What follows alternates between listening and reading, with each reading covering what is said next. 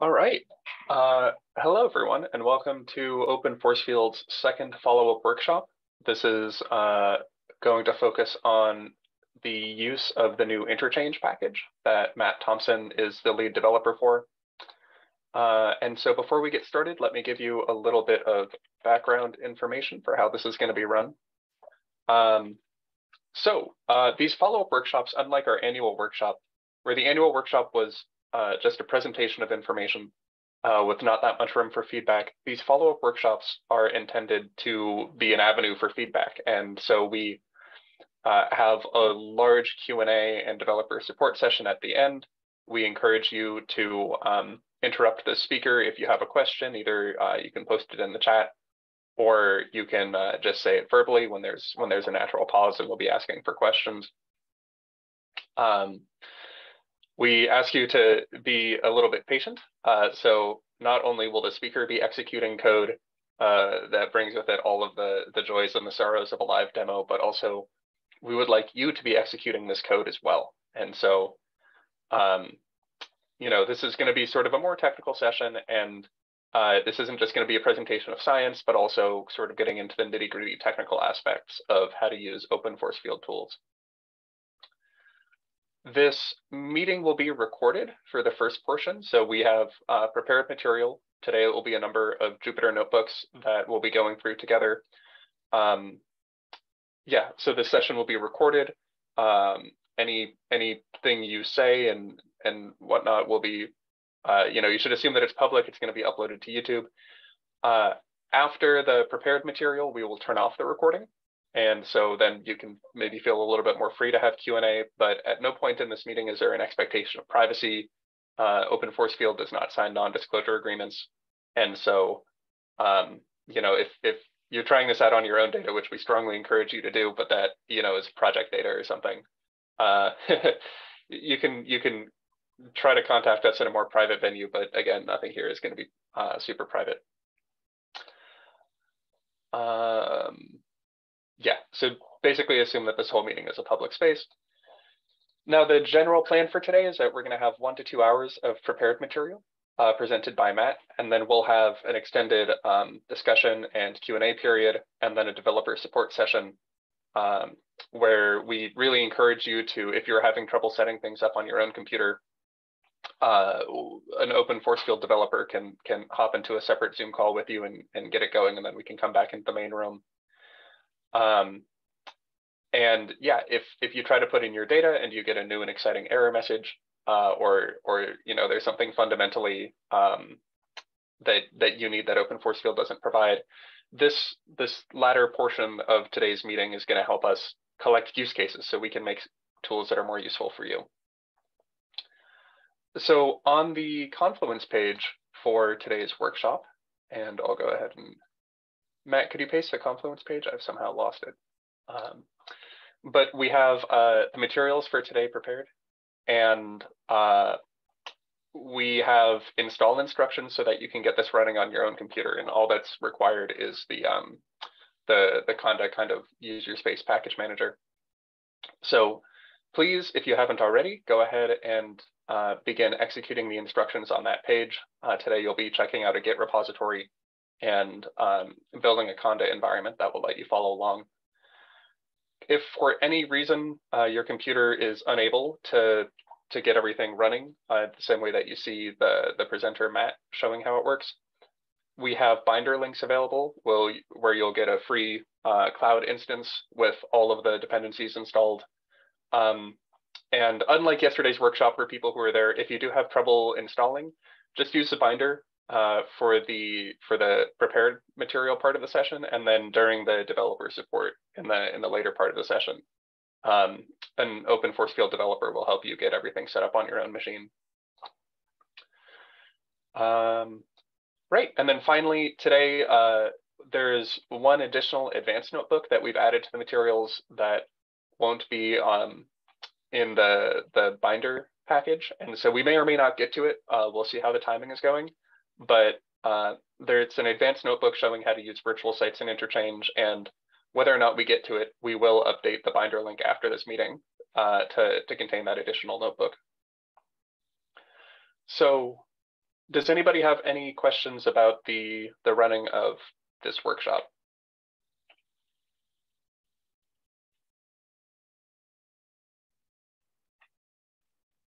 Okay. If not, I'll turn the floor over to uh, our senior software scientist, Matt Thompson. He's a lead developer of Interchange, and he's been with Open Force Field for a number of years now, doing a lot of the critical work that um, you know keeps things running and installing. And so, yeah, Matt, if you like, please take it away.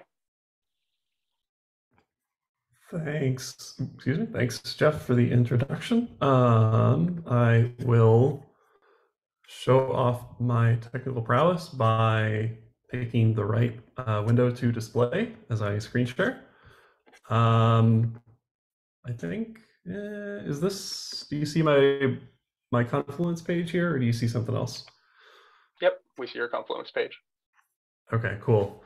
Yeah, so I am um, just on this Confluence page that we've uh, distributed out, and there's a, a it's a, again in the chat is a link um, so at the bottom, um, there's a link to a GitHub repository that includes all of the materials um, uh, that have been prepared for this workshop. Um, and one of them is the README that serves as um, sort of the, the structure and the loose agenda for today. Um, so these are the uh, installation instructions again, um, but the stuff we'll actually be covering includes mostly high level stuff. So um, our, our objectives include uh, summarizing the key objectives of the project and um, kind of painting around the boundaries of what the current scope of supported functionality is. Um, depending on sort of the, the time you have left and, uh, and user interest, um, there are some more experimental features that are a little bit more forward uh, forward facing that we might have time to get to, um, but those are far from uh, reliable, reliable yet uh, for use in production. Um, most of the time we'll spend going through the high level API of interchange. Um, believe it or not, uh, in about two hours, I won't really have time to get into the nitty gritty of the internals. Um, but depending on um, if depending on how much people want to hook into those internals for their own work, um, that's certainly something I'd be I'd be happy to work on uh, with people outside of outside of the workshop. Um, yeah, so those are the high level objectives. Um, uh, because there's a good bit of stuff to go through, um, I, I, don't think it would be wise to put everything into one notebook. Um, so uh, unfortunately, things are scattered uh, across a bunch of notebooks, um, but I think it, it, makes each one of them a little bit more digestible. Um, so these are the notebooks. Uh, they are mostly in the order we're going to go through them. Um, so the first thing we're actually going to go through is uh, talking about units, uh, which is not uh, specific to interchange. It's it's more the entire stack. Um, but then we're going to go talk a little bit about the objectives and sort of design. Then we're going to make some interchange objects. Then we're going to show how we can export them to different uh, objects and file formats that uh, are used in the simulation engines that you use. Um, and then uh, we go a little bit out of order and we'll be going through the protein ligand example, um, which uh, takes a, a sort of mostly prepared system of a docked ligand in some protein used in um, some protein ligand benchmarks. I believe the files that were used for benchmarking um, Parsley and or possibly Sage as well. Um, but we'll go through that and show how we can um, go from those input files to OpenMM and other engines um, using just uh, open force field tools, mostly the toolkit and interchange. Um, then we'll take a, a, step back and go to um, uh, a notebook where we explore um, a little bit more of the, just a little bit of the internals, um, specifically the potential handlers. Um, and then de depending on the time left and what people want to see, we, we might uh, do a little bit with virtual sites or um, at that point it might, um, we, we might go into the, the, the last developer hour. Okay, um, so that's a, a rough picture of what we will be going through today. Um, I believe I shared my window or I, my desktop and not a window, so you should see my terminal now. Yep. Cool. Uh, okay, so I'm going to assume that we have made our con environments by now. So um, I did the same thing as well. So we will want to activate the environment. I hope I spelled this right. Okay, cool. Uh, and from here, um, if you would, uh, here, from here you can, um, oh, sorry. I need to go into the repo. And then here I will pull up um, not a specific notebook, but if I just point it to the notebooks directory, it will pull up, um, it'll pull up the, the directory. Um, and from here, I'll open each of the notebooks one by one. Um, so I believe I said the first thing I was going to go into is units. Um, as a sort of design decision, um, uh, interchange specifically, but also a lot of the rest of OpenFF software um, tries to tag things that might have physical meaning uh, with uh, with units. So instead of you know just being numbers like floats or NumPy arrays, um, these are um, unit wrapped objects called quantities. Um, there are a handful of unit solution uh, unit packages out there. Um, we provide our own, which happens to be basically a pretty thin wrapper around Pint um, with just a couple tweaks to make our stuff easier and a little bit more friendly to um, computational chemistry. But um, most of uh, that package should behave similarly to Pint if you're familiar with it, um, if, if you've used it in the past in, in other packages. Um, so the, the kind of basic usage is, so we'll want to import this unit. Um, this is technically an object, but it kind of behaves as a namespace. Um, you'll use you'll use from OpenFF.units import unit a lot in your code. Um, uh, I like to make uh, these quantities with a quantity constructor, which um, for almost all uses will just take the actual values you're wrapping and then um, a unit object. Um, you pass those to the constructor and you get the object out. Um, like I said, this unit thing acts like a namespace and it has a bunch of these things dangling off of them where you can kind of, if it's a if it's a commonly used unit, um, you can kind of do unit dot and then type it out and tab complete and it will probably be there. So um, here, this is just nanometers. Uh, you don't need to import anything more than just the unit. Um, as a shorthand, you can also just multiply the number by the unit object. Um, and this cell just demonstrates that, that these are that these are the same thing. Um, some of the other things you'll you'll you'll probably want to do with them are convert them to something of a different unit. And there are sort of a, a few different ways or a few different um, yeah, use cases like this. So if you use uh, quantity dot two and then pass it a different unit, it will convert that quantity into a different quantity.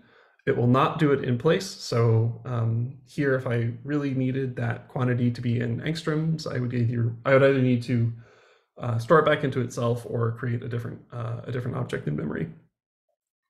Um, if you want to talk to something that does not want the units to be associated with them, like um, if you're you know if you're writing to some file format and you just need the number and you just want to trust that you have the units, um, there are a few different ways to do that. There's a dot magnitude, um, uh, what is it? Property or property-like thing, I suppose. Um, and that will just spit out whatever whatever the number is, and it will effectively strip the unit um, and not do anything particularly smart or special around that. So that's that's very very fast. Um, if you want to be sure um, that you are writing something out with particular units, you can use im as and pass it a unit, and then it will um, do the conversion and then strip the unit out. So in this case, you can see if I just do dot magnitude or its alias dot m, then I just get the number that I had and it has no knowledge of the units. But if I want to convert it to angstroms and strip the units out, I can do that. Um, and just to show it works, if you want to do m as and ensure that it's still nanometers, just in case you did something earlier in your code, that kind of that kind of works as expected as well. Um, you'll often find, or well, we often find anyway, that that uh, serialization of our objects is very important. So, you know, serializing of force fields, molecules, topologies, so on and so on. And um, Pint does a little bit of magic um, to make this happen pretty pretty well out of the box. So you can just call the string uh, the the built-in string function um, on any quantity object, and it will give out a string with a pretty sane representation. Um, this is one that's obviously human readable, um, but it's also one that conveniently is uh, machine readable as well, in a sense, or at least Pint readable. So I can pass that string directly back to the quantity constructor, and it will actually parse the string in the units and, and all that. Um, so this is a, a kind of uh, this is a, very small in scope example, but this uh, uh, this serialization this serialization round trip is basically what we do at scale for these sort of thousands of line long um, force field files, uh, for example. Uh, okay, uh, so you might have um, some existing code that uses OpenMM, and OpenMM has its own units package, um, which which works great, and um, we want to make sure that we offer interoperability between those. Um, so we have a small submodule here um, that offers these two functions from OpenMM and to OpenMM. Uh, they do what I, I hope it seems like they would do on on on the on the tin, just based off of the names. Um, they convert these OpenFF quantities to or from and to uh, OpenMM quantities. So in this case, I make a distance of 24 meters, or uh, I, make a quantity object of 24 meters. I can convert it to an OpenMM quantity that should be analogous in meaning. And you can see here that when I print it out, it appears to be still 24 meters, and it's an OpenMM quantity. Uh, and then just I can go in the reverse direction, and I can call from OpenMM on that, and uh, I get out just what I started, which is uh, hopefully not too surprising, but that's what we expect out of a round trip. There are uh, a few cases in which, um, so depending on sort of what libraries you're talking to and, and what versions of them, there might be some cases where like, I'm not sure if this positions vector is in OpenFF units or OpenMM units. And you can do like an is instance check or, you know, you can check the type of it and you can sort of have some branching logic out from there. And I've spent a, a, good bit of time writing that code over and over again. So I wanted to provide a short, a short, short shortcut to it. Um, uh, and that's in the form of this ensure quantity function. So this takes in two arguments. One of them is a um, quantity where you're not quite sure if it's OpenMM or OpenFF or, or potentially in the future, some other unit package and then just a, a string saying which which one you want it to be. Um, so if uh, kind of kind of separately, um, you can use this question mark operator in Jupyter Notebooks to pull up the the, the kind of docstring help um, of um, of a function or a class if it's written. Uh, it works the same if you do um, question mark thing or thing question mark. And in this case, it pulls out the, um, well, I guess it didn't write a docstring, but it pulls out the function signature, which I think should give you about as much information as you need. Um, uh, and these next two cells just demonstrate that uh, whether, or sorry, um, these demonstrate what happened if um, you call this function uh, passing these two different arguments. So you can see if I tell it to make it an OpenFF, to ensure that it's an OpenFF quantity, it, it does that, and the same thing with OpenMM. Um, for cases in which um, you would effectively convert to what it already is. It um, makes an effort to short circuit out of there. So if something's already an OpenMM unit and you want it to be an OpenMM unit, it won't do any round trip. Um, or uh, it won't do any round tripping. It will just recognize that and, and, short, and short circuit out of there. Um, uh, a last couple things about OpenMM. So uh, um, OpenMM sometimes provides array-like things as this as sort of kind of weird objects. Um, I'm, I'm, assuming for reasons that relate to to making stuff work faster on on, on GPUs or something. But um, something that I find myself dealing with or kind of encountering a lot is um, positions from like a uh, like a PDB file object is this thing that's like a list of these vec3 objects um, and these are in, OpenMM units, and um, the, the logic inside of this from OpenMM function um, makes an attempt to handle that. So you can see if I convert it from the OpenMM object to the OpenFF quantity, I get uh, uh, I get a wrapped NumPy array, which hopefully is stuff that uh, something that, that people here are, are, are pretty familiar with. Um, and I kind of spent all of this time talking about this because it's not something that's just used in interchange. This is used now throughout uh, the toolkit as well as of the most recent version.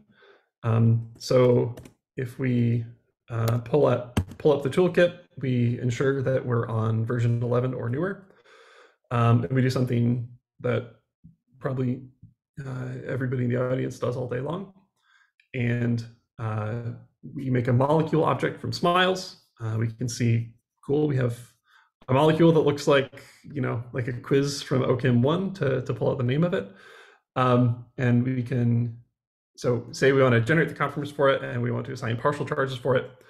Um, those objects that are carried along with the molecule now are both uh, OpenFF unit quantities.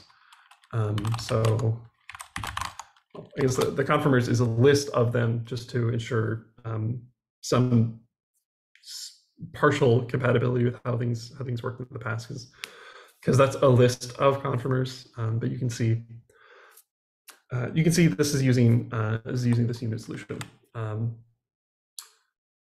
yeah so any questions about the units before um, uh, we move on to the next uh, the next notebook Hey, Matt. Uh, this isn't directly about the units, but I'm curious, could you say a little bit more about how the conformers are generated? uh, I guess the, the short of it is um, stuff like conformer generation, partial charge assignment. Um, a lot of the molecule API um, actually internally calls these toolkit wrappers, which are classes that um, basically get the molecule objects to uh, call RDKit or OpenEye toolkits or some other toolkits as well to to do the heavy lifting. So um, things can get a little bit more things can get slightly more involved if you have an OpenEye license, but um, for this workshop, we aren't installing OpenEye or, or dealing with the licenses there. So what is in these environments um, and what's in uh, all of your, your environments are RDKit and Amber tools. And if memory serves, the default behavior here is for the conformers to be generated by RDKit with, I think uh, it's uh, rdkit.chem.embed multiple conformers or something like that, using some sort of some sort of sensible defaults. Um, and then I believe the A1 BCC charge assignment happens by happens with Amber Tools. I think it's uh, SQM is the program that does it. Um, so there's a lot more that we could talk about with that, I suppose. But the short of it is that this is all wrapped. This is all wrapping other chem informatics toolkits. Okay, got it. Thanks so much. Yep.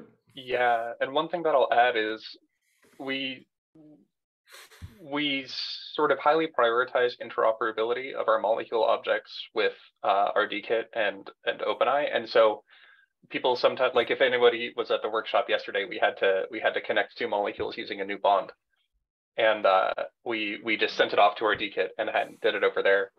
And this is why we don't have a lot of more flexible functionality in our own API, is because we we want to encourage people to take an OFF mul, go to RDKit, and and modify it in strange and interesting ways, uh, and then just bring it back to an OFF mul when they're ready to do physics with it. And I think I saw Chapin unmute for a sec, so he might have a question. Yeah, one quick question from me, Matt. The Mhm. unit namespace is shared between OpenFF units and OpenMM units. So is there an easy way to import both of those into the same Python session? Yeah.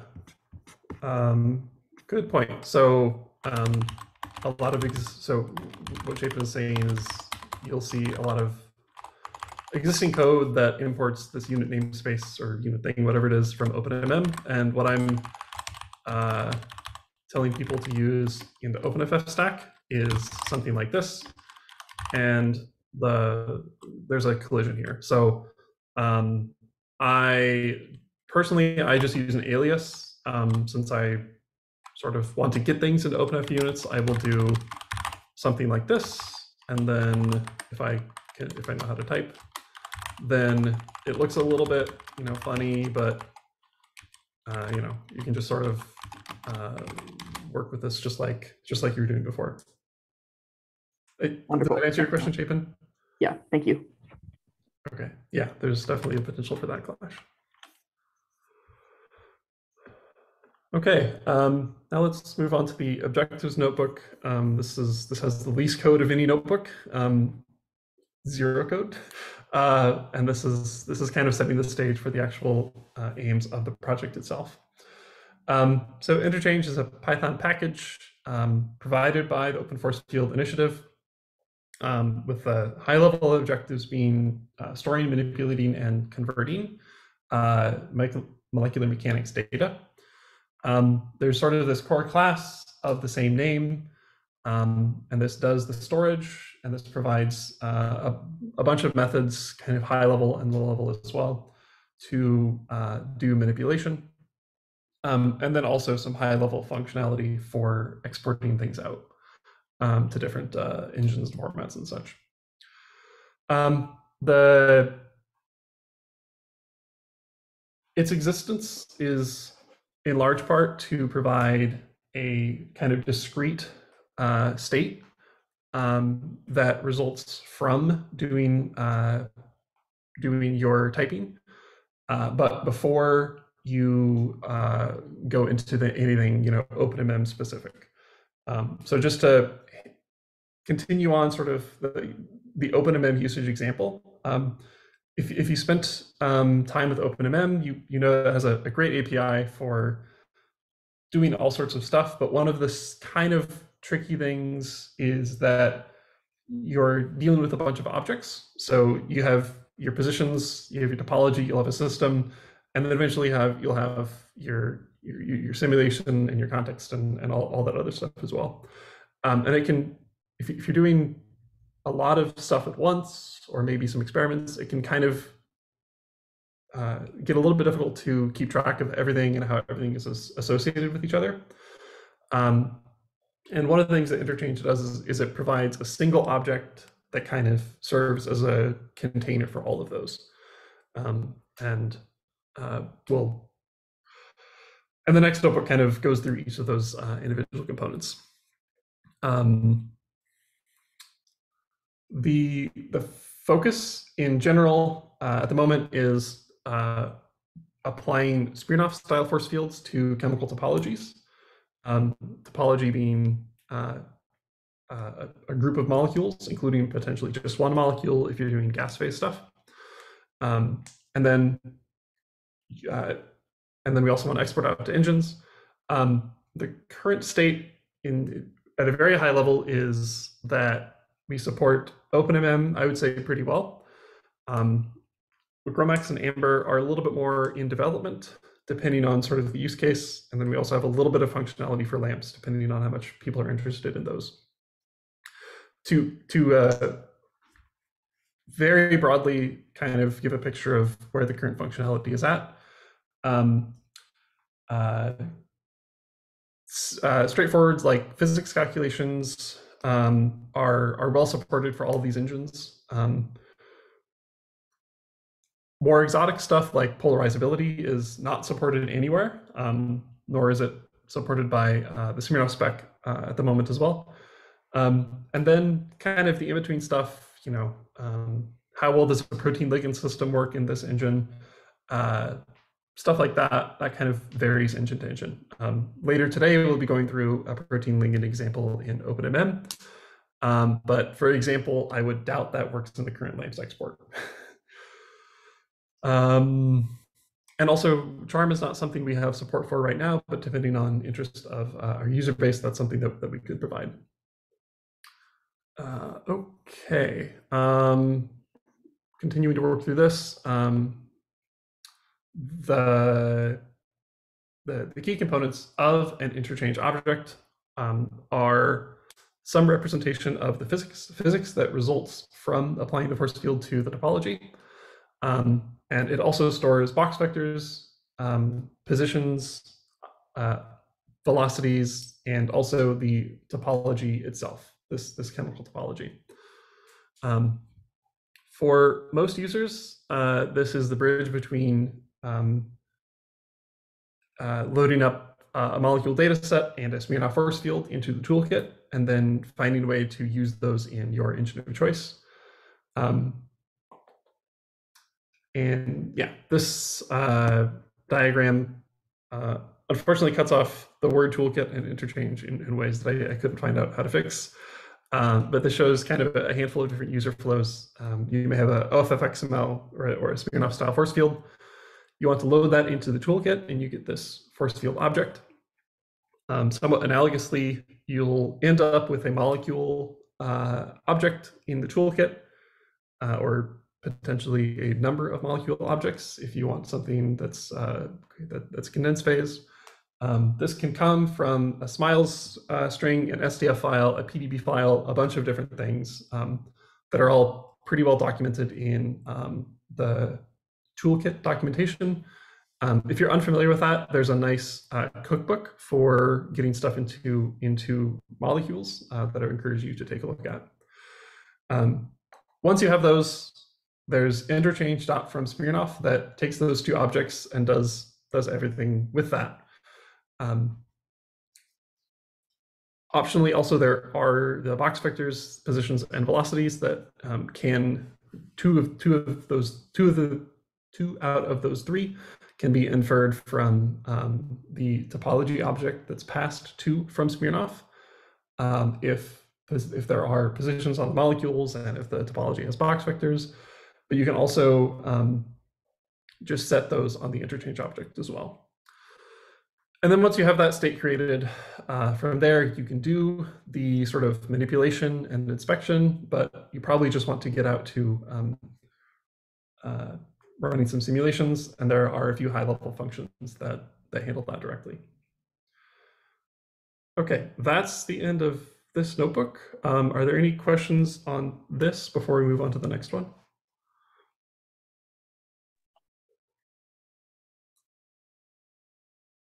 I might add, uh, Matt mentioned that we we have these different exporters on the right. We can go to Amber or OpenMM or GROMACS. Uh, and and like you said, we sort of have different levels of confidence in each. Uh, on this on this figure, it's indicated almost as like dotted lines. Um, in terms of our confidence about exporting to OpenMM, it's very very high for all of our released force fields.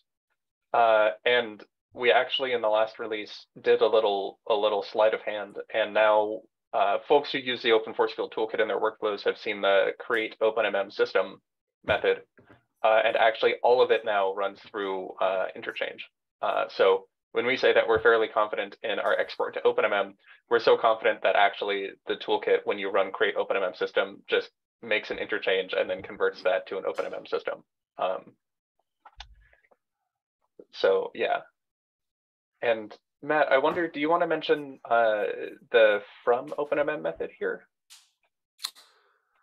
Yeah, good point. Um, so yeah, so I was talking all this about uh, how interchange tracks an internal state, uh, but I only, but I only talked about one way to get there, um, and that's uh, partially because of the, the motivation of this is to help get uh, OpenFF stuff into others' engines. Um, but uh, from SMIRNOFF is not the only way to create an interchange object, and um, we hope that in the future there will be a bunch of different uh, methods that do this. Um, there is from Foyer that can take in, um, I believe, a Foyer force field and an OpenFF topology with some with also some helper functions to interoperate between OpenFF topologies and mBuild compounds. Um, and then there's also from OpenMM that takes in um, uh, that, that, takes in populated OpenMM objects, um, at very least a system and a topology, uh, and then creates an interchange from that. Um, it may, you know, you may wonder why you would actually want to do that, um, but there's a lot of interoperability hurdles and pathways that um, uh, make that actually useful in some cases. Um, also, OpenMM has a ton of interoperability and a bunch of file loaders, um, and um, there's also OpenMM force fields out there that provides a nice way to get um, uh, a version of GAFF and Espaloma, and I think a couple other force fields as well, um, into parameterized systems, but only into uh, OpenMM. So um, yeah, so OpenMM is another, uh, it's, it's a little bit experimental and we, we may or may not have time to get, get to it later today. Um, but the key point here is that there are going to be a bunch of different from X methods to create these interchange objects. Cool.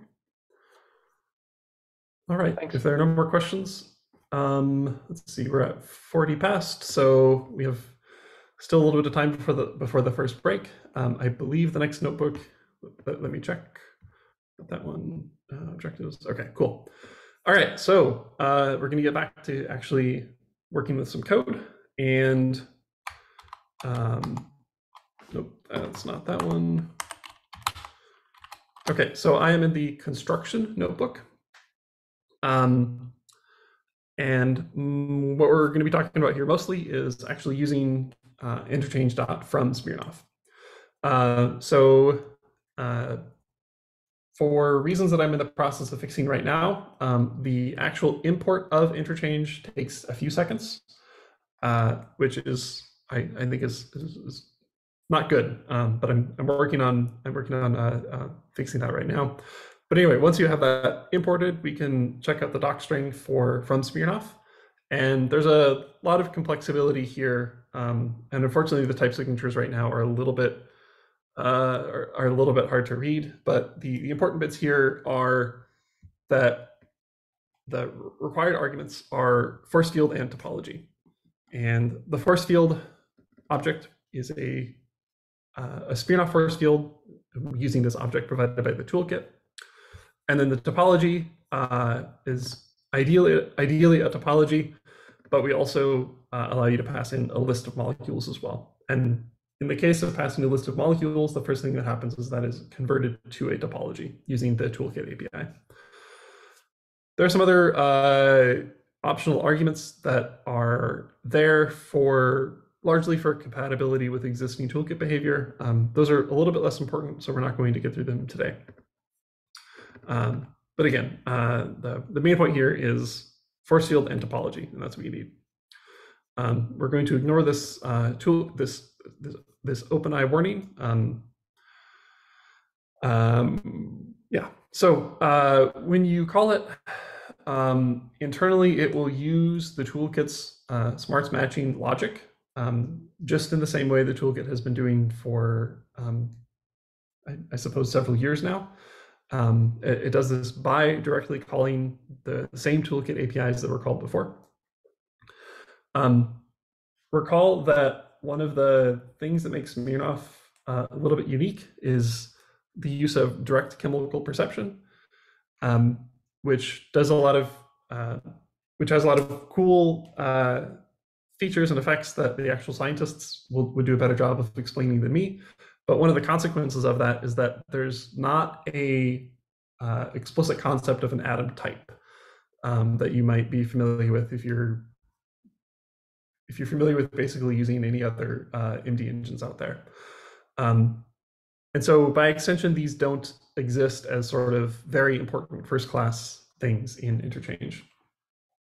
Um, there are ways to get them to be important for compatibility with uh, other typing schemes, um, but I probably won't get that get into that today. Um,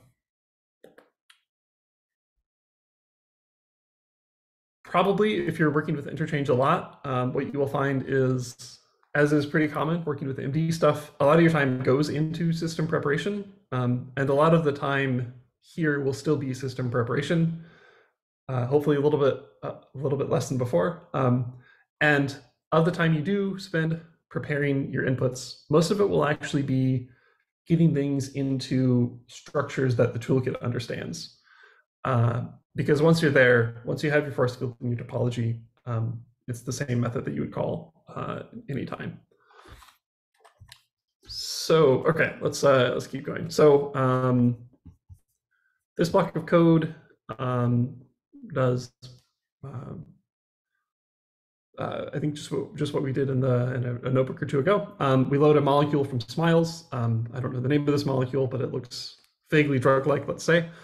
Um, and for reasons that will become clear later, I want to get two conformers on this molecule. So um, I call generate conformers. I tell please give me two conformers.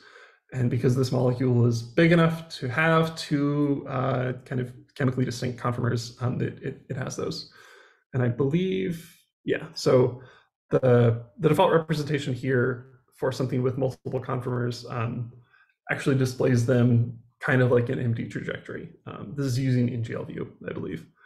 Uh, so we can see, cool, we have our two different conformers. Um, and then I want to make a topology from this molecule. Um, and yeah, now I have one of the two inputs I need. Um, the other one is let's just get a force field. This is a small molecule. Let's just use a small molecule force field. Let's load up Sage. Um, and yes, uh, this will be a time uh, I make the point that um, currently interchange implements everything that's in the SMIRNOFF specification. Uh, except for uh, GBSA models, which we can we could prioritize if that is something that's that's important uh, important enough to enough people. Um, but the nice thing about that about, about the current support, the current state of support, is that because um, almost all of the SMIRNOFF spec is implemented, that means new force fields that are developed using the current SMIRNOFF specification are kind of de facto supported. So uh, there are a handful of features that um, show a lot of promise for sort of various scientific reasons, but for uh, other reasons have not made made them into mainline OpenFF force fields. Um, two good examples of this are virtual sites and um, WB, WBO-based uh, valence parameter interpolation. So these are ones that uh, you could write a force field that um, has this in them, and interchange supports those. Uh, and as long as you follow the SMIRNOFF specification, um, you can you can expect um, interchange to understand uh, to to understand that. Um, not a SMIRNOFF section per se, but um, everything is in place for uh, biomolecule support. Um, and so this is all to say that once any of these features finds their way into Sage, or sorry, one finds their way into Rosemary, uh, or I believe after Rosemary is is time, or if you want to write your own SMIRNOFF force field, as long as you follow the SMIRNOFF spec, these are supported by interchange. Um, and, and that would also include uh, if you do a bespoke fit. Um, so if you want to refit torsions for a specific ligand, um, the result of doing that is you actually create a separate force field, and you can just load that up into, into interchange just like before. Um, and I believe there's an interchange workshop. Uh, sorry, uh, there's a bespoke fit workshop in I believe a couple of weeks um, that I, I think will be of interest to a lot of people. Okay, um, enough of enough of that. Uh, we can do what I said we can do and call dot from SMIRNOFF, pass it our force field, pass it our topology, and we get this interchange object out. Um, and then the wrapper just displays a very small summary of information. I have seven potential handlers. I did not specify periodicity on my topology or pass in a box argument to from SMIRNOFF, so it does not know anything about periodicity, so it assumes it is non-periodic. And then in my topology, I have 23 atoms. Okay, let's actually go through some of, oh, sorry. Um, before we do that, let's uh, hit this point that Jeff mentioned earlier.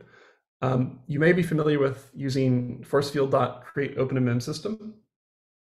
Um, no, sorry. This cell is a little bit out of date. Um,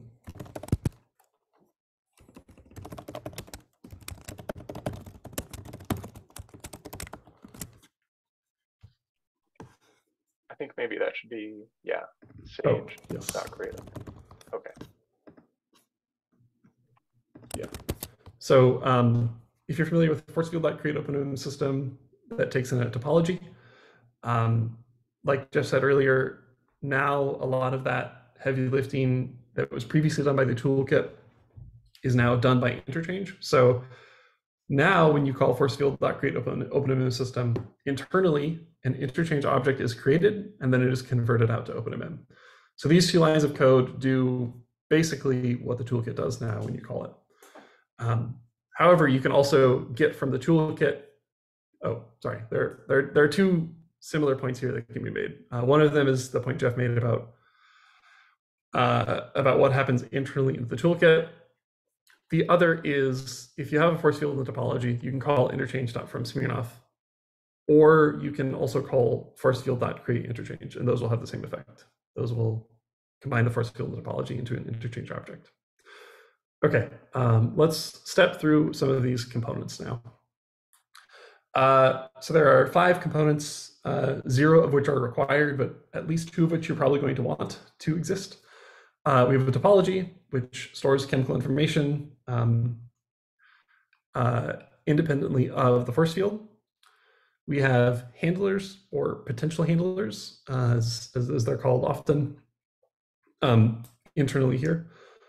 Uh, and these map the um, force field parameters onto uh, kind of what is actually applied uh, what is actually stored in the final um, in the final systems that you run uh, MD on. Um, the force field is not stored directly anywhere in interchange. It's the result of applying a force field to a topology. We also have uh, positions and velocities, which are positions and velocities. And then we also have uh, box vectors, which is just the information about the periodicity.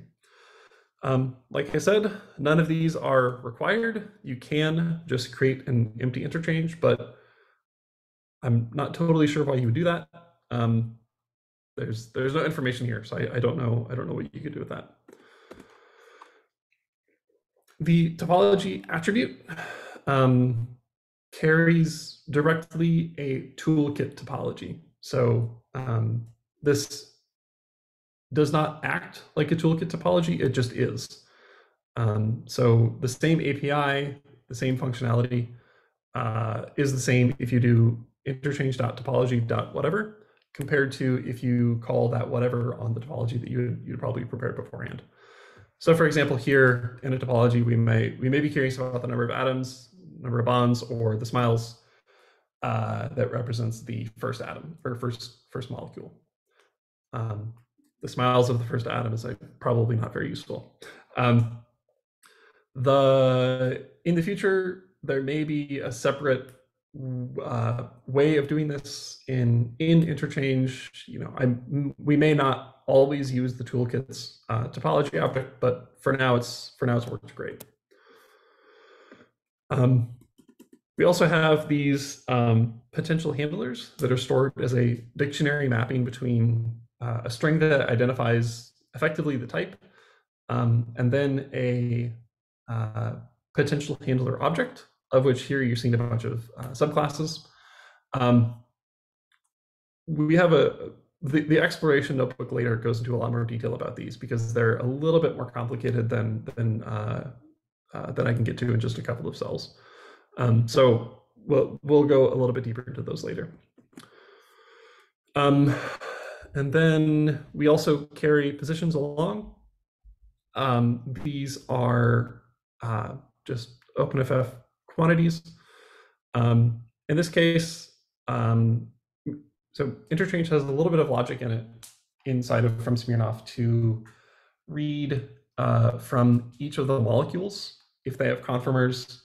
And then if all the molecules have conformers, um, interchange kind of assumes that those are the positions you want things to be, um, you know, those are the positions you want things to have. So in this case, the positions of the interchange object are directly, it's, it's the same as the as that zeroth of a molecule.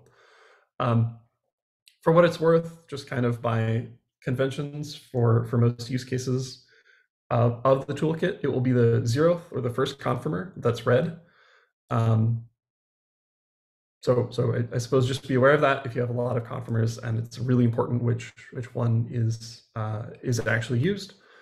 Um, and yeah, this just shows uh, I have an OpenFF quantity um, the same object we, we, we were talking about a few minutes ago. And then these positions look like they certainly could be uh, atomic positions for this molecule. Um, however, if you wanted to not use the zeroth conformer, um, you don't have to. Um, you just have to uh, set the positions again. Um, the setter should take anything that is array-like and is of the shape number of atoms by three, kind of as, as you would expect. Um, and this block of code just demonstrates how we can pass it the second conformer in, my, in the molecule, pass it to the position setter, and then now no longer, uh, and, and, this is and this is uh, immediately updated in the um, in the interchange object. So if you wanted to, you could look at. I'm not 100% sure about the okay. So the first atom is at is at slightly different positions. So so switching the conformers is, is maybe not the most interesting thing in the world, but um, if you're doing some more involved system preparation um, and you have all of your molecules, say you have a big you know, protein ligand complex, and then you have some ions and all this water and stuff, you can, you can, if you want, sort of prepare your positions with some external tool like Packmol or GMX Solvate or something like that. You can create the interchange object without really caring about the positions because um, you can just go and set those positions later. Okay. Um, uh, lastly, uh, there is also a box object. Um, uh, it, it can be none if the system is non-periodic, um, but if the system is periodic, it's expected to be a uh, I believe, a three by three matrix that um, that uh, uh, represents the period, represents the periodicity. Um, and again, here from SMIRNOFF, just make some effort to infer things based off of the information it's provided. So, uh, like I said earlier, we did not set box vectors on our topology. If, if we wanted to, we could have, but let's just say this is a gas phase.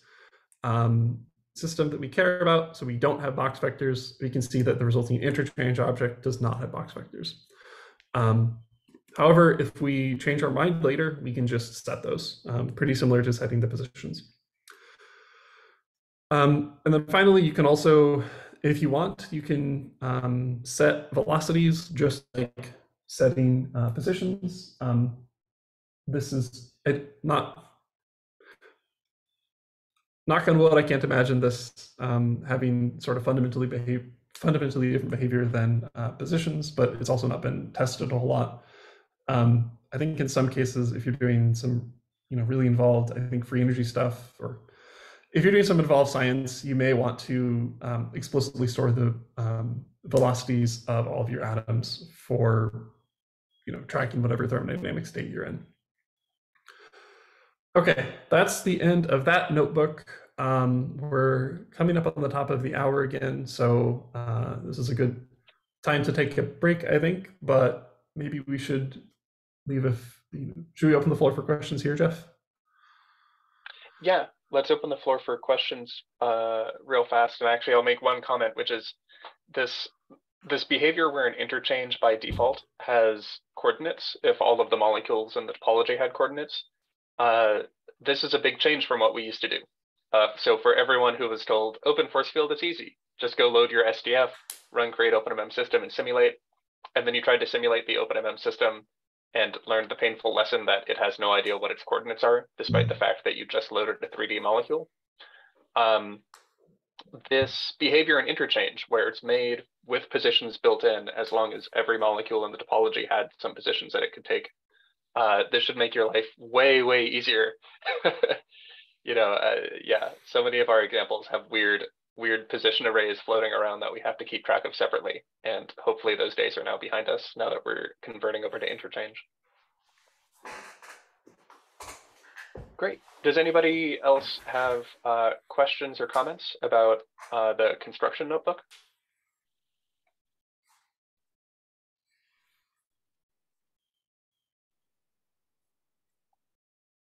Okay. If not, we'll go ahead and uh, Matt will queue up the next notebook and now we'll take the first of our breaks. Uh, Matt, do you think a five minute break would be good? Yeah, sure. I just want to get a cup of water. Okay, great. We'll take a five minute break now um, and we will see you back at five past the hour. Thank you very much, everyone.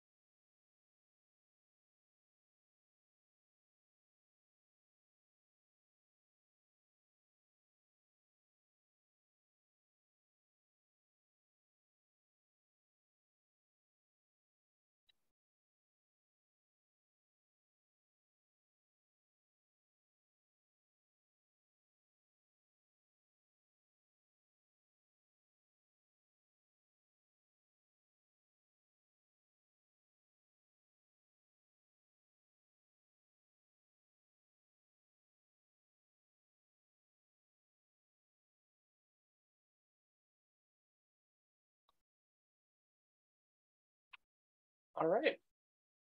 Thanks, everyone. We'll go ahead and resume momentarily.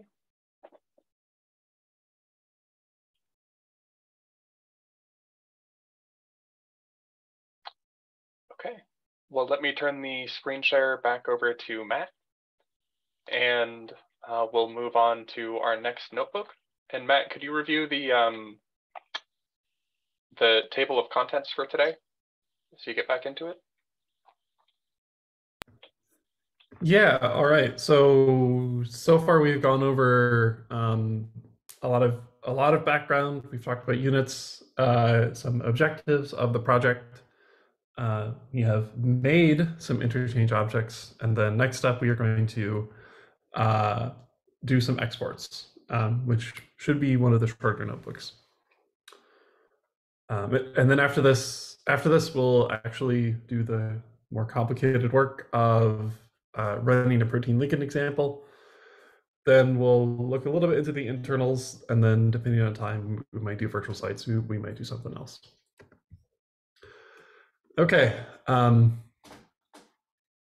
so uh, I've talked by now a lot about how the goal is to store a lot of information, find ways to get information in, and just kind of uh, track internal state in some way.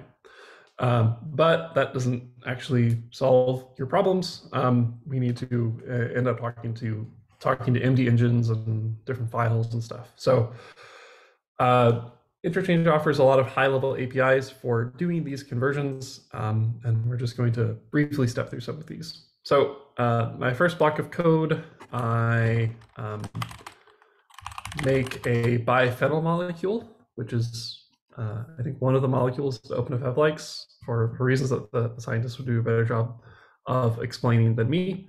Um, but out of this, I load up Sage and then I call from SMIRNOFF. Um, you may see, I'm just kind of lazy sometimes, I may pass in a molecule as molecule.to topology. Um, this, like I was saying earlier, this will do the same thing. If I just pass it um, a list of molecules, uh, a sort of one list. Um, those those will do the same thing. Okay, uh, but some of the exports, um, one of them is uh, a PDB writer. Um, if if I remember correctly, uh, this uses OpenMM's PDB writer. Um, in general, um, especially with stuff like PDBs that are kind of complicated and have a few uh, sharp edges around them I'm not super interested in making the world's hundredth uh, native PDB uh, parser. So for for this and and, and most of these uh, uh, and some of the use cases, we will will will rely on external tools. Um, let me see if I can show file just to show that this did something sensible. Cool. Okay. So then this is uh, it looks the same because it, it it is basically the same information, but here's the NGLView representation of that molecule. Oh, okay. That's exactly what I had prepared. All right. um, okay. Um, if we want to talk to GROMACS, we have uh, dot to grow and dot to um, top which writes out the uh, grow coordinate and topology file uh, respectively. Um, in this case, uh, we're getting a warning due to kind of a current quirk of um, GROMACS not explicitly supporting um, vacuum simulations or, or sort of gas phase simulations. Um, it's basically the same for, for, for, I think for most MD settings, it's basically the same if you just pass it a really big box um, so in this case, kind of assuming you might be doing single molecule stuff, uh, interchange will actually just set a somewhat arbitrary five nanometer uh, box. Um, and yeah, this is you, can work around this if that's an issue just by just by setting a box. Um, if if five if five nanometers is too small too small for whatever reason, um, but if this causes issues, of course, please please reach out and and, we'll, and we'll, we'll we'll work through them. Um, and again, here just showing that showing using NGLView that the file does does kind of what you what you would hope it does. Um, I think I may have showed this off a little bit earlier, um, but there's a to OpenMM function. Um, there are, I guess there are actually a few, but the high level one on interchange creates an OpenMM system. Um, and uh, I, guess those of you who are, who are really familiar with OpenMM know that it's uh, very, very flexible, which is one of the features, but it's also, but it kind of can lead to to some complexities as well because there are there are for most things a handful of different ways to get to get something done. Um, and simulating molecules is no exception to that. So uh, for uh, for for compatibility with uh, things that aren't sort of the the most simple non-bonded force use case um, I, I, wrote to OpenMM to actually export a handful of um, custom non-bonded functions. So this splits out the, the van der Waal and um, electrostatics interaction into separate forces. And then uh, a kind of quirky consequence of that is that the one four interactions need to be added back uh, into, into the system by custom bond forces. Um, this uh, this is something that you can turn off if, if this is something you don't prefer. Um, my based on discussion or based on discussions I've had with OpenMM developers, this should not have any impact on performance. But but maybe you you're using some tool that kind of expects a, a non-bonded force instead of all this sort of stuff. So there's an argument that controls that. Um, and if I recall correctly, um, this is this argument is is set to true when this is called inside of the toolkit. Um, I would not say I would not say that one is better than the other. Um, I think they're both they're both they're both fine. Um, but the toolkit, since its inception or since the, it had this functionality, um, always prepared its forces in this way. So that's that's why it's there in the toolkit, just for um, just for uh, maintaining a little bit of um, uh, similarity with with previous behavior. Um, yes, that, that's that. Um, the the ParmEd exports, sorry, ParmEd exports, the Amber exports are very similar to the GROMACS exports. Um, I'm a little bit less experienced with ParmEd than I am with OpenMM. God, I'm less experienced with Amber than I am with OpenMM or GROMACS, but as I understand it, um, it's somewhat analogous, these two objects to the, the two GROMACS files. Um, and and this, this does the, the exports uh, accordingly. Um, yeah, um, you can also write out uh, LAMMPS. Um, like I said earlier, uh, LAMMPS is comparatively less uh, used by our audience and our partners. Um, and I don't believe anybody in OpenFF uses it internally. So this is less battle tested than the other ones, but it can write out uh, a LAMMPS data file. Um, and then finally, um, this is not MD per se, but um, there's a lot of interest in sort of machine learning adjacent groups to get vectorized representations of these parameters out. Um, so we have uh, APIs for that. Um, one kind of detail that becomes pretty clear uh, if you if, if you spend a little bit of time with this is that um, compared to other things like you know uh, if you're going to do deep learning on a photo or a video or something like that kind of you can have everything in one representation. Um, it, that sort of idea does not map on very well to parameterized mm systems um, because I, I, guess just take my word for it because um, I'm, I'm not finding the right ways to, to express this. But it becomes a lot simpler if you split this all out into different handlers. So short of getting a matrix out for all of the physics parameters at once, um, it, it, makes a it makes it a lot easier to get them sort of handler by handler. So one for the bonds, one for the torsions, one for the van der Waal, so on and so on. Um, and for each of these, there are two separate ones. Uh, one gets you the force field parameters, uh, and then the other gets you what's called the system parameters. Um, so in this case, the biphenyl for, for bonds, I guess the biphenyl has three unique bonds using SAGE. My guess is this is carbon-carbon in ring, carbon-carbon um, between rings, and then carbon hydrogens. Um, and these are, I believe, uh, structured at, in this case as force constant, comma, um, equilibrium bond length. Uh, so that's why this is, happens to be two columns. Uh, different different handlers will have different shapes, but the number of rows here is the number of unique parameters in the force field. And then these are expanded out into the system parameters. Uh, here, the number of rows uh, are going to be equal to the number of bonds. Um, like I said, if I do a different one, you can see it, you know, it has some similarities, but it's going to have a different number of columns because um, because torsions behave differently than um, differently than bonds. Um, and these are all unitless representations because uh, if you're going to be passing this off to some um, uh, you know some machine learning library, it's it's going to want stuff in just raw uh, arrays uh, without anything wrapped. So those array those units would get stripped off of off of these uh, pretty quickly anyway.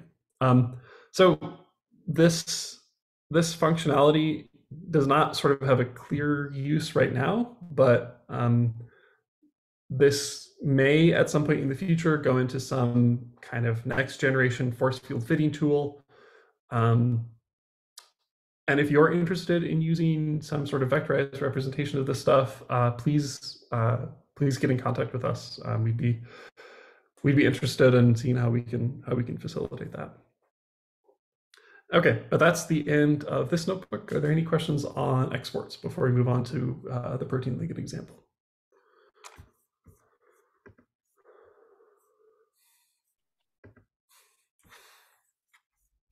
Yeah, one thing I might emphasize, we don't need to look at the files now, but we we showed the correctness of the exports in this notebook just by by loading up like the grow file into NGL view and seeing that it had the right coordinates. But all of these exports have been exporting the physics parameters as well.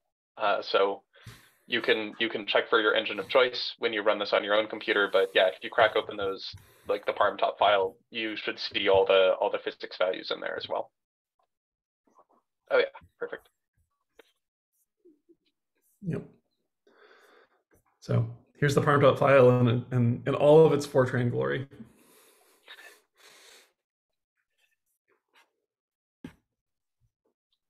Cool. Great. If there are no right. questions, then I think we can move on to, yeah, protein ligands. All right, great. Um, first, I want to give credit to uh, believe this example was largely built off of uh, a toolkit showcase example that I believe Jeff you wrote two maybe three years ago, um, and has sort of slowly been progressing over time as the as the stack has has, has, has moved around.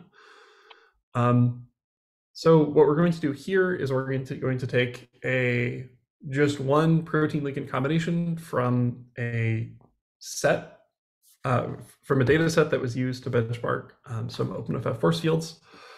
We're going to parameterize it. Um, we're going to solvate it, and then we're going to export the system to a few different engines. Um, this is not production ready for a couple of for, for reasons relating to a couple of details that will that I'll point out when I get there. Um, of course, well, if you want to build something off of this, I would just strongly encourage you to to spend some time validating um, validating the exports and sort of the details of the contents that, um, that, that that you might get out of this. All right. Okay. Um, first things first, we have a big block of uh, exports or of exports of imports to run. Um, these uh, these warnings we can all ignore. Um, okay, let's uh, grab some files. Um, so like I said, we're, we're pulling this from um, uh, a protein ligand benchmark data set. Um, I just have these hard links here and we're just we're just downloading these, these files. We have a protein in a PDB format and we have a ligand in an SDF format. Um, these are, I'm not going to say what is a preferred format and what is not uh, per se, but this is probably the, the most, this is, this is probably the combination pair. This is probably the most common pairing of uh, molecules to, um, to file formats. Um, and you can see I have a, a bunch of craft in here, but I also have downloaded these two files. Okay, uh, we have to do a little bit of work um, before going straight into the toolkit. Um, I, I think at some point in the future, there's uh, a large interest in um, having the toolkit parse sort of multi-molecule PDB files uh, for something that has sort of various other things in it, like crystal waters and cofactors and dot dot dot in it um, that are not just the protein. Um, but for now, the toolkit um, uh, wants PDB files to just have one protein in them. So what we're going to do is we're going to use MDTraj to um, slice out the crystal waters, I believe. Uh, which I don't think is something you, you want to do necessarily, but it's it's what we need to do to, to get this running. Um, okay, so yeah, so this used uh, MDTraj to just pull out that first protein, or to just pull out the protein, which I happen to know was, was chain ID zero in this PDB file, and then we saved it out to sliced.pdb. So this is the file that we're actually going to be using for the next few steps. Okay, so uh, the toolkit now offers from Polymer PDB, uh, which builds a molecule from a PDB file.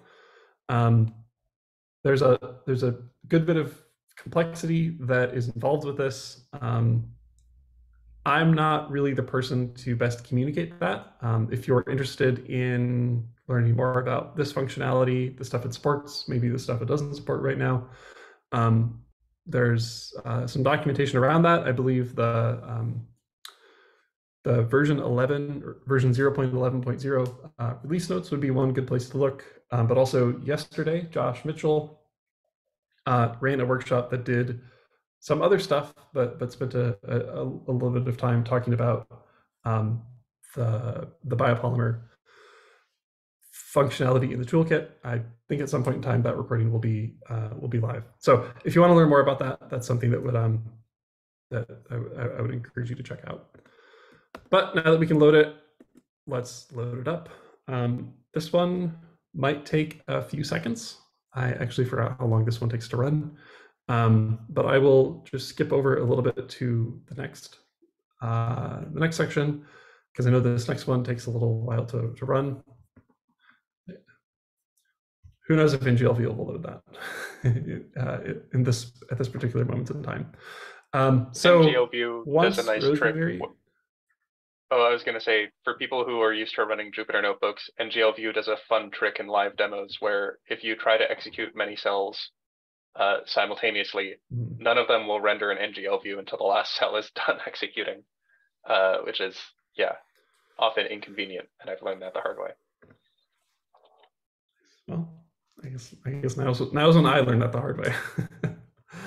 um, okay, so we've loaded the protein. The protein looks good. It looks like a protein. Um, when uh, when Rosemary is released, uh, this next bit will no longer become uh, quite as relevant. Um, but if we want to run protein ligand simulations using SMIRNOFF, um, we will need a force field that uh, supports um, supports uh, proteins and biopolymers. Um, in principle, you could use Sage to do that, but that would not be very good. Um, you, you don't want to use a, a general force field for, uh, for proteins.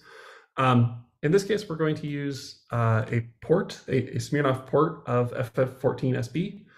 Um, there are a, a, couple quirks around how the impropers are handled and total parity with uh, Amber's results uh, as measured by the energies, I believe is not quite there, but it's pretty close.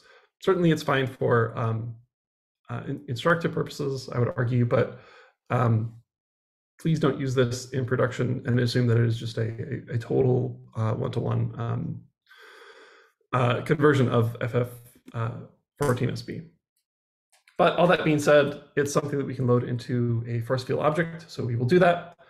Um, that took a little bit to run, that, that took a little bit to load because it's a, a large force field, and then we will create the interchange object uh, from this, which will take a little bit to run as well.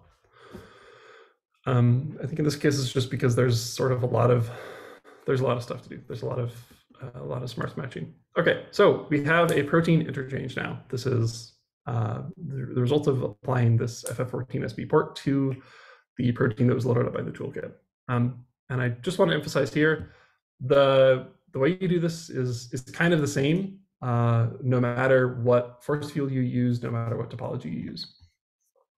Okay, but we don't just want a protein in vacuum, so let's keep going. Let's load up the uh, ligand into a molecule object, um, like we've been doing before.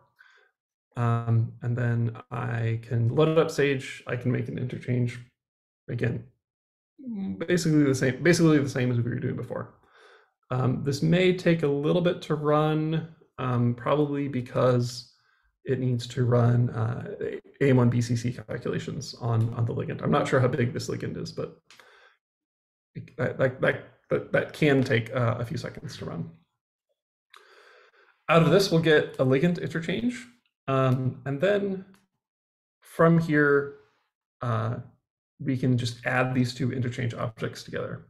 So um, in, in, Python in general, um, adding objects is pretty unspecified, so you can't just do that out of the box. But um, when you're when you're writing your own code, you can override what happens when you call uh, plus, um, and interchange has done that.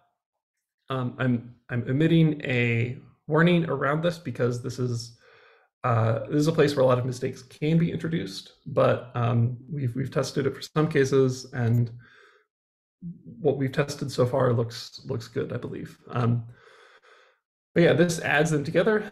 This attempts to add the topologies together. This um, attempts to kind of merge the per, uh, potential handlers, um, combine the positions, uh, make some make some inference about the box vectors. Um, but out of these separate uh, parameterization routes, we uh, completed each of those and we just added them together. So now we have a docked interchange that includes the protein and the ligand. Um, and then just to, yeah. So again, because the because this is already prepared, the, the ligand's already docked, um, this this one looks nice out of the box. If you just did, if you just made the molecule and you generated random conformers it was just kind of somewhere in space, it wouldn't look very good. Um, but yeah, this looks this looks pretty good. Okay, then the last thing we need to do is um, add some water to make this a little bit more useful.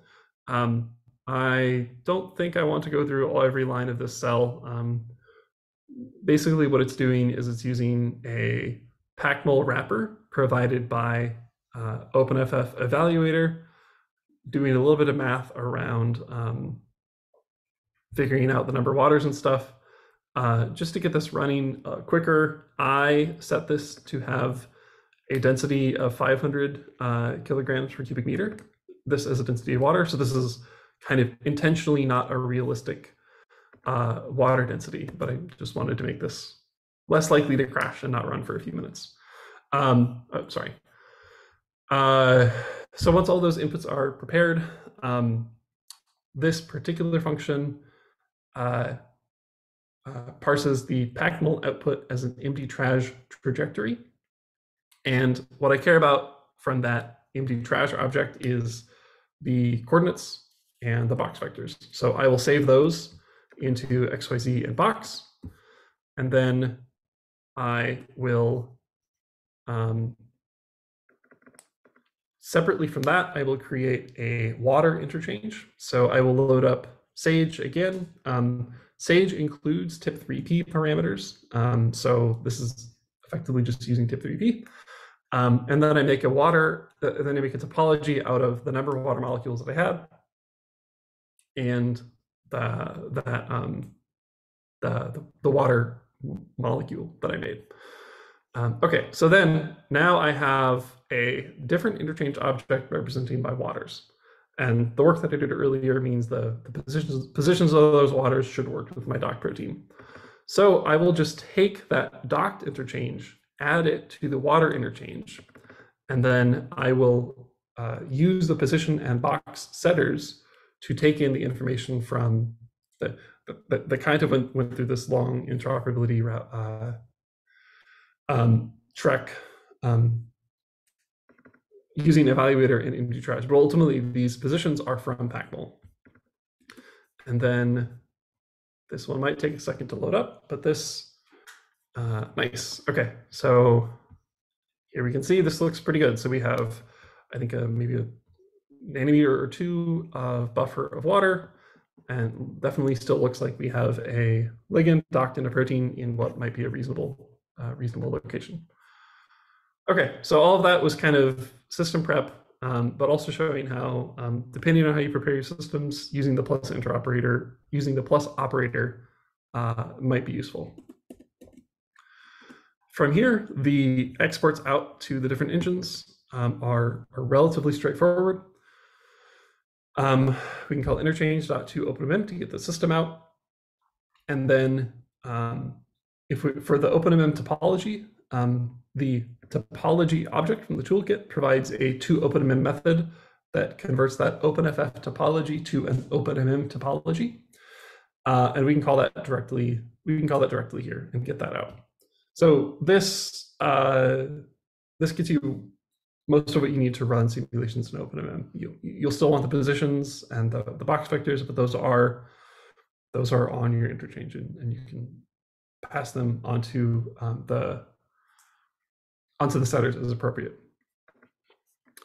Um, we also can um, call the different exports out to the uh, the other engines using just the same API that I described in the previous notebook. Um, unfortunately, uh, these are a little bit slow. So for a very large system like this, um, these will take a little bit longer than I want to wait for in a notebook. Um, but I, I, I hope soon I can make these a little bit more performant. Um, in general, I would not expect performance to be one of the best features of interchange. Um, I mean, wrapping everything in units and writing this in Python means it's, it, it's not going to be as fast as like some, you know, C++ or Rust parser um, or, or writer, but I, I, I want to make sure that something like this can be uh, at least exported in, you know, under a minute or something like that, ideally a few seconds. Uh, but anyway, this is that's my explanation of why these are all in um, if else or if false blocks, so, so they're not actually running. Okay. Um, kind of for my own testing, um, I there's a, a module in interchange called drivers that provides these these high level functions that take in an interchange object and computes uh, zero point energies um, in different engines. Um, this is useful for a bunch of testing stuff that um, I, I, don't, I, don't, think I need to go into here. Um, but for, for, for cases like this, it can be useful to, um, to either spot check uh, things to make sure my bond energy isn't, you know, uh, 10 orders of magnitude higher than you'd expect it to be, um, or um, you could also, excuse me, use this to uh, compare the energies reported by different engines via the different exports. Um, like I said earlier, unfortunately, the Amber exports for the for the large system are a little bit slow right now. So to demonstrate this, uh, I will just do it for that ligand interchange that we made earlier. Um, and so out of this, I believe right now these are uh, just little pandas data frames, but these uh, report out the uh, different components of the potential energy function kind of as reported by, uh, in this case, it's only OpenMM and Amber because GROMACS is not installed because that would make the binder image a, a little bit bigger. Um, but if GROMACS was installed, if LAMMPS was installed, it would find those, it would add the rows together. Um, so you can see here the bond angle torsion uh, numbers are, are, very, very close, you know, basically exact, kind of by mm uh, mm standards. Um, the Waal and electrostatics are a little bit quirky. Um, it's just kind of hard to get these engines to agree on on what exactly non you know non-bonded methods should be used and stuff. So I, I recognize that that those numbers are a little bit off, but um, I, I I would discourage you from assuming that that means that the van der parameters or partial charges are written out incorrectly. It's just just kind of a quirk of how um, of how these are of, of how these engines are called. Um, before I open it up for questions, I did want to point out. Um, so we this example spends a lot of time doing system preparation stuff. Um, by no means are, but by no means is it the case that the um, workflow here is the only way to do it. Um, for example, um, you may have your own favorite way of adding waters into your system. If you want to use GMX Solvate, if you want to use um, the, I think there's add solvent in OpenMM. Um, there are uh, you know, there are a bunch of ways to do this. Um, really, all that you need to get out of it is just the information that you, you really need. You need the positions of your waters, um, and then probably also the, the corresponding box vectors. So this cell you could imagine uh, being written in a bunch of different ways, probably just depending on what you're familiar, uh, what you're most familiar with or what you prefer. Okay, um, I think I will open it up to questions. Uh, questions then. Have people been able to uh, run this notebook on on their machines as as I've been going through it? Um, do people have other questions about usage around here? Stuff you could other other tinkering you could do, um, or just general questions? I'd be happy to help out with anything.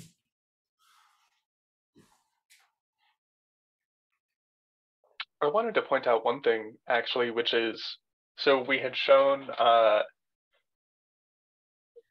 these exports when we when we're transferring information between um, between these different engines. Uh, the reason why sometimes it's tricky is because the like a parm top and a and a grow an ITP file or a grow and top file. It's not that it's like a technical problem of like how do I like what data do I take from what fields here and how do I convert it into these fields here. In several cases, these files contain fundamentally different fields. And so we have to do a little bit of guessing when we change from one format to another. Uh, and what we'll probably wind up with in a couple months, maybe once we start getting more more user reports and, and we start understanding which of these information differences cause confusion.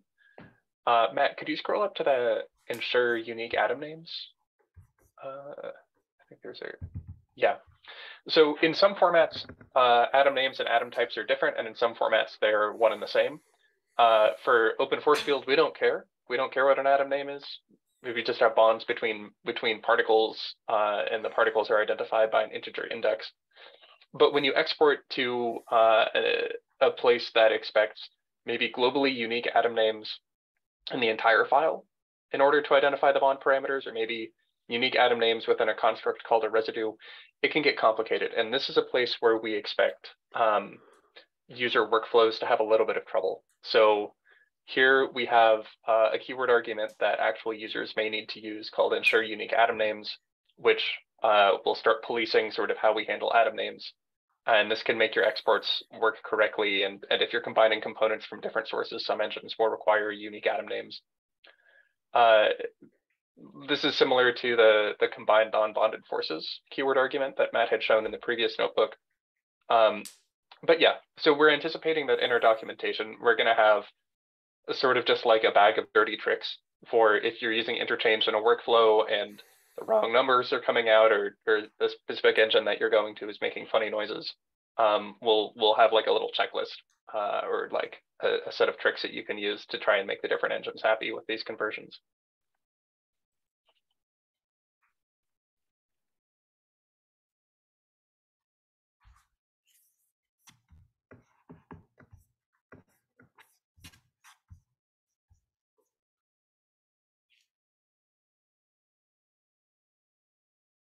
All right. Well, hopefully this example um, demonstrated in, in some part how, how this might this might be a kind of drop in-able in, in maybe some of your uh, some of your workflows if you're doing stuff with proteins and ligands, which I think probably most people are.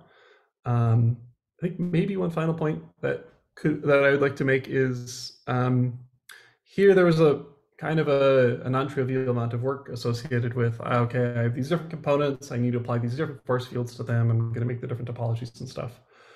Um, when Rosemary is released, uh, it will uh, the, the, key objective, one of the key objectives is, is having a, a self-consistent biopolymer and small molecule force field.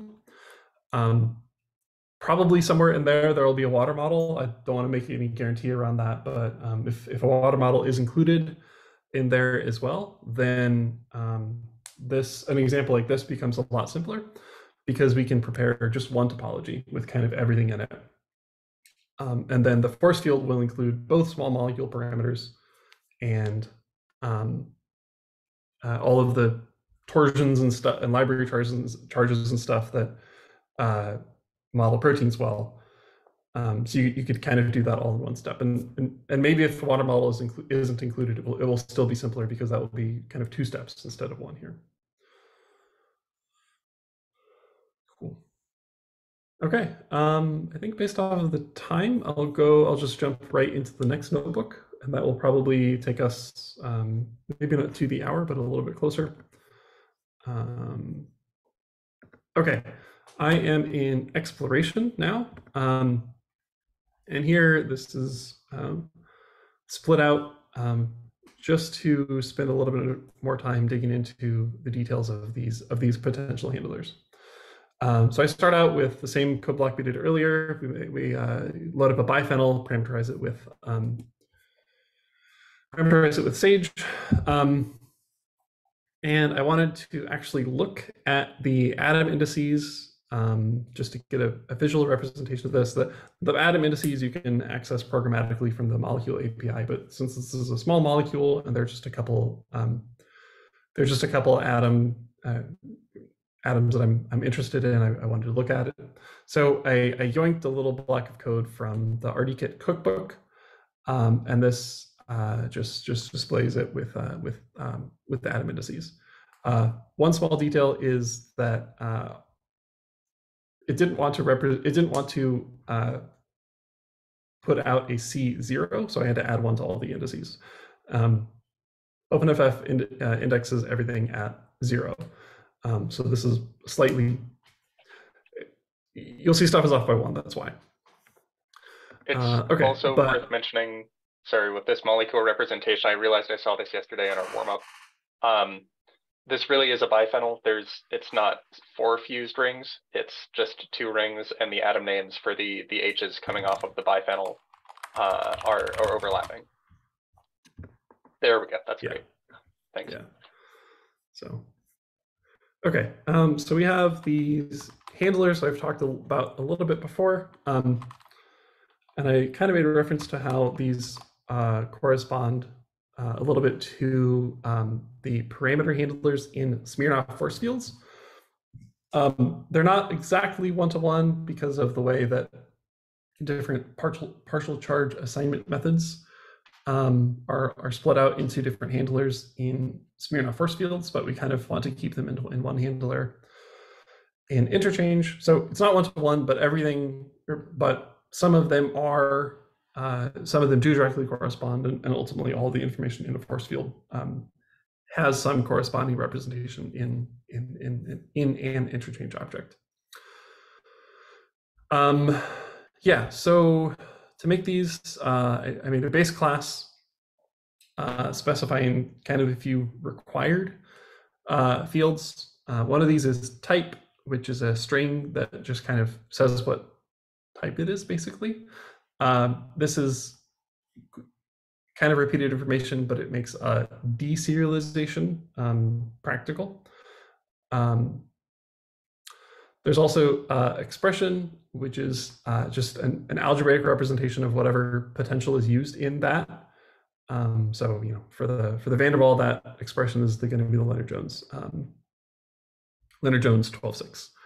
Um, this is not directly parsed in the sort of mathematical sense, but it is used to um, keep track of what is compatible with others. So if you made, um, you know, uh, 15, 6 uh, Lennard-Jones like um, potential because you think that has better physics associated with that, uh, you can certainly get it into interchange, but um, some of your other exports might not work because um, depending on what's supported, there'll be some check to make sure it looks like a, 12 Lennard-Jones. Um, there's a, another field that specifies the sorted parameters, which is uh, useful for talking to the uh, parameter handlers and, and, knowing kind of what I'm expected to, to know how to process.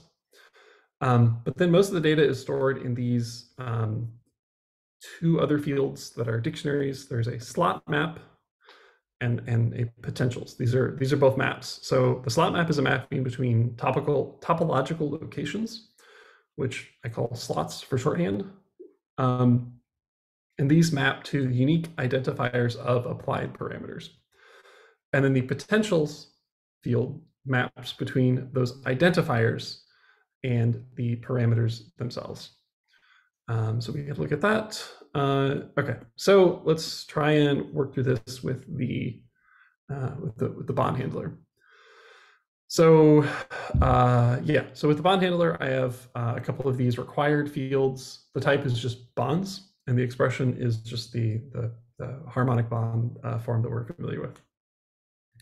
Um, these the next two fields are not used in Sage uh, directly, but they kind of demonstrate how each individual handler might add a little bit of information. So if you're going to do uh, bond order interpolation, excuse me, SMIRNOFF requires a couple more fields to know the, the type and then, then, then how you're actually assigning the fractional bond orders.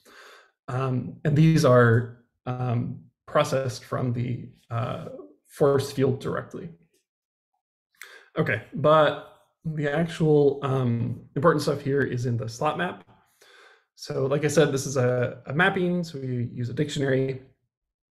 In this maps between the, the keys are these topology key objects, which, which store atom indices, and then the values are these potential key objects, which know just a little bit about uniquely identifying the parameters. So let's pluck out the very first one um, just by unwrapping it into a list and grabbing the first, uh, the first value. So this topology key is associated with a bond handler and it includes these two atom indices. So this is just saying the bond between these two atoms. It doesn't know, doesn't know anything about the physics. Um,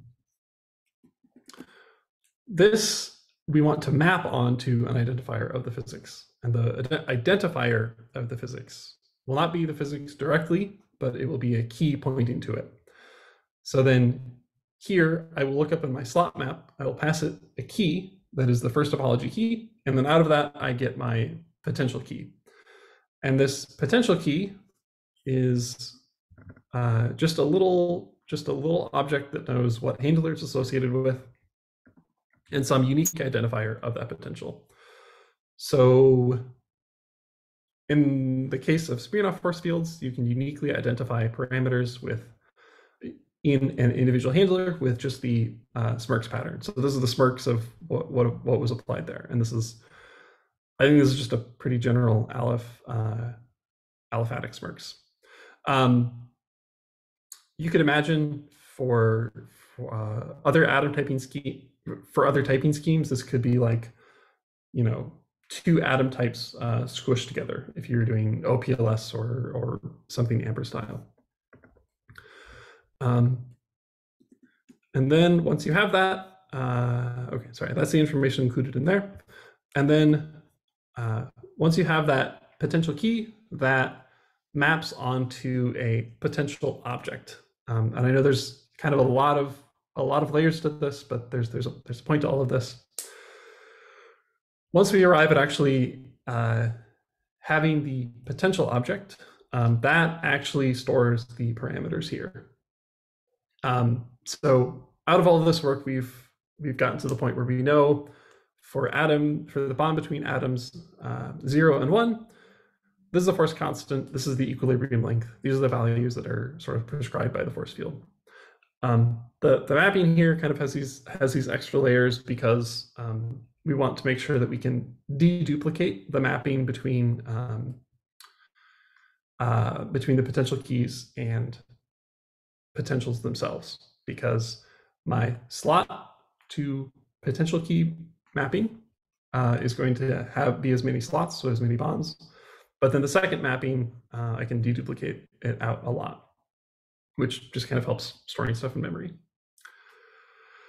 Um, okay, so um, with all this information, I wanted to also show kind of one way you could maybe do something a little bit more useful with it.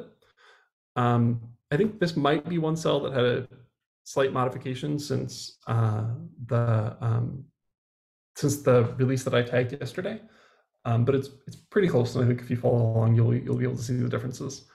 Um, so we can just kind of take the code from the previous few cells and wrap it all up together into a function that uh, takes in an interchange and then takes in uh, a, a, tuple of atom indices.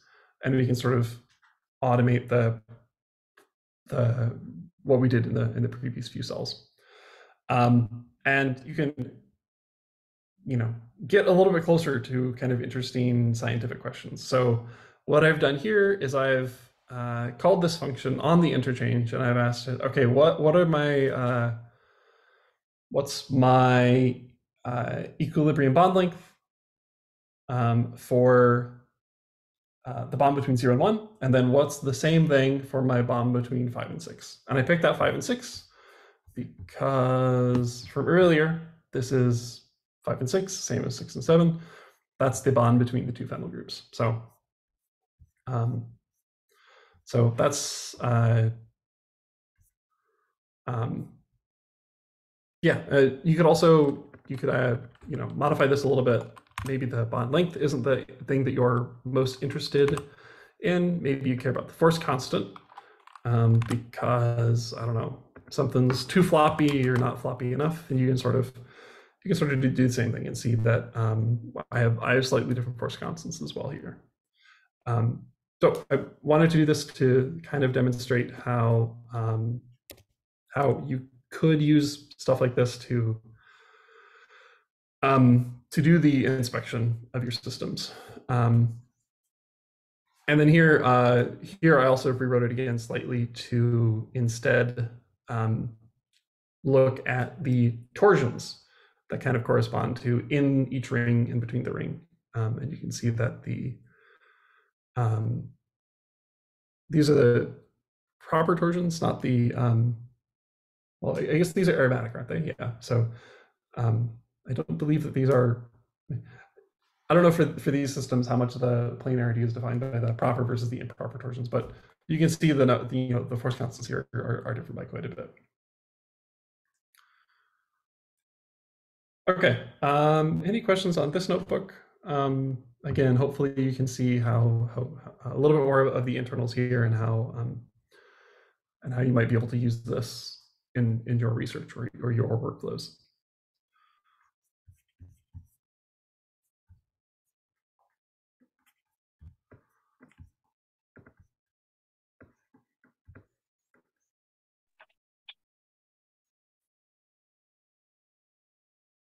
Okay. If there's no questions, um, then we might go for our second and final break of the workshop. Um, and what we'll do here is we'll take another five minute break. And so we'll come back on the hour. And after the hour, uh, we'll have the choice. There's another kind of advanced. So this exploration notebook I would consider a bit advanced. Uh, I think it's it's cool uh, because it goes into some of the neat architecture and it shows you the inner workings of interchange. Uh, the next notebook that we could run is also a little bit niche. It's about virtual sites and how they're represented in interchange. So we'll have the choice of either running that, um, but maybe what we'll do when we come back, we'll have a, a more open discussion and Q&A in case people do have larger topics that they're wondering about. Um, and then we can we can take a vote as to whether to go on to the virtual sites uh, notebook or if we want to, to extend the discussion and developer support time. So thank you very much, everyone. We'll be back uh, on the hour. Right.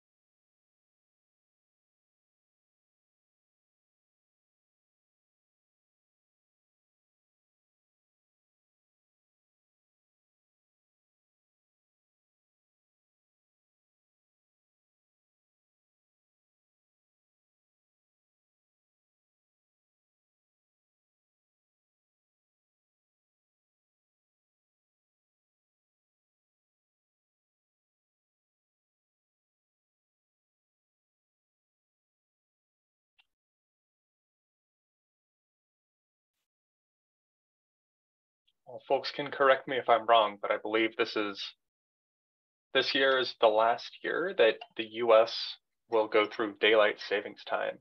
I've noticed, especially in the age of Zoom, it's difficult to uh, it's difficult to give absolute times for people in different time zones, and so we always we always give reference to the hour. And thankfully, we don't have any uh, any Venezuelans or anybody who's offset by 30 minutes uh, in the consortium or I think in our in our audience yet. Uh, but yeah, I look forward to to not having daylight savings anymore. I believe we'll we'll do the cycle once more in the United States and then we're done.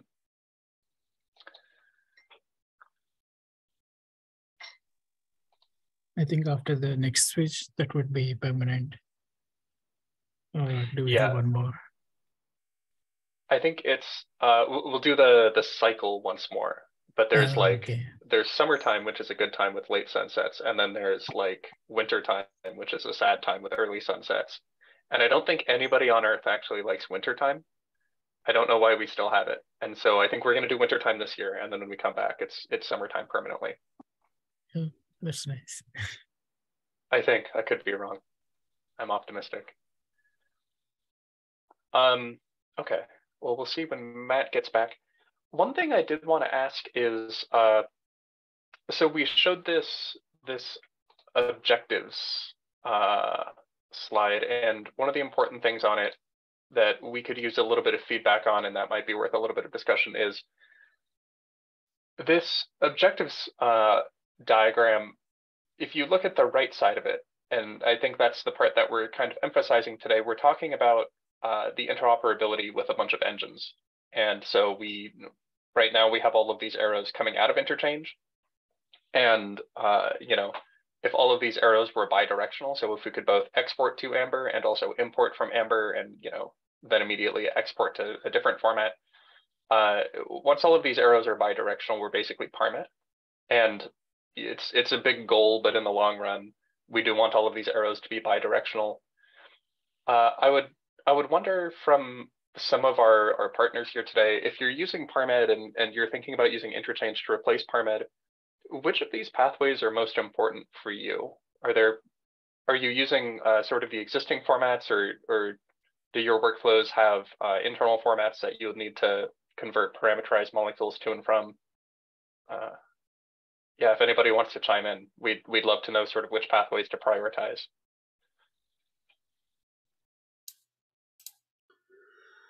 Okay, I'll go first. So we're we're primarily going from, in essence, the, the OpenFF stuff through to Amber formats, and then Okay. take- and then taking the Amber formats into OpenMM. And the, the reason we do that rather than go directly into OpenMM is because we also want to allow users to sort of you know, prepare externally their own ParmTop files and load those in. And so rather than having two completely separate paths for one starting from a molecule, one starting from a ParmTop, we, we just take everything to a ParmTop file. I see. So you send everything to ParmTop and then you use the Amber suite to to combine all the components into like a single system, and then you send that to OpenMM. No, we, we build all of the components ourselves. So we use a combination of the OpenFF toolkit and ParmEd to combine all the components together into a, a single ParmTop. And then we just take that through into OpenMM. Oh, I see. You you have OpenMM directly read the ParmTop because it Yeah. has a ParmTop reader. Okay, Exactly, yeah. cool. Has that? So we know with OpenMM we had just described some of our our difficulties where we see particles as integer indices in a larger topology, whereas a lot of uh, the existing engines see parameters being applied between atoms of certain types. Uh, do you encounter that a lot using ParmEd on a on a larger scale in conjunction with OpenFF exported molecules? Uh, I don't think so at the moment. We're, we're not heavy users of ParmEd. Um, we used to use it a bit more, but actually at the moment, most of the stuff we do using the OpenMM force fields code to go from sort of molecules straight into a, a topology and thence to a a um, sort of amber format topology and coordinate files. So at the moment, we're fairly light touch users of ParmEd, just for the occasional tweak. Okay, excellent. Yeah, we've noticed in putting together these examples, I think we didn't understand initially the underlying principles of, of how to combine components from different things, or, you know, if we want an amber parameterized protein and a something else parameterized ligand, what pathways we'd be taking. And we found that the big commonalities were um, before interchange, if we're setting up a protein ligand simulation, we basically would either find ourselves using ParmEd or uh, OpenMM force fields. Yeah. And you know, both of those are a little bit tricky. ParmEd doesn't like that that we don't respect atom names and atom types, and OpenMM force fields is, I think, intended to be like a stopgap provided by the Chodera lab um, Mhm. while while sort of OpenFF takes off. And so we are targeting a lot of the functionality that we see as essential from those packages in a protein ligand workflow. We're we're targeting replacing those with with interchange. So your feedback would be especially valuable if you start uh, integrating interchange into your workflows, because we would love to know what's slow, what's what's inconvenient, what is convenient, Yeah. um, so that we can we can work better for you. The one thing that's likely to be fairly important for us is actually preserving atom names. Um, just because we've got a, a whole swathe of machinery to start from a protein and go through sort of various prep stages and allow users to tweak it, and then feed it eventually out through the machinery into OpenMM, run a dynamics, and then read in the output.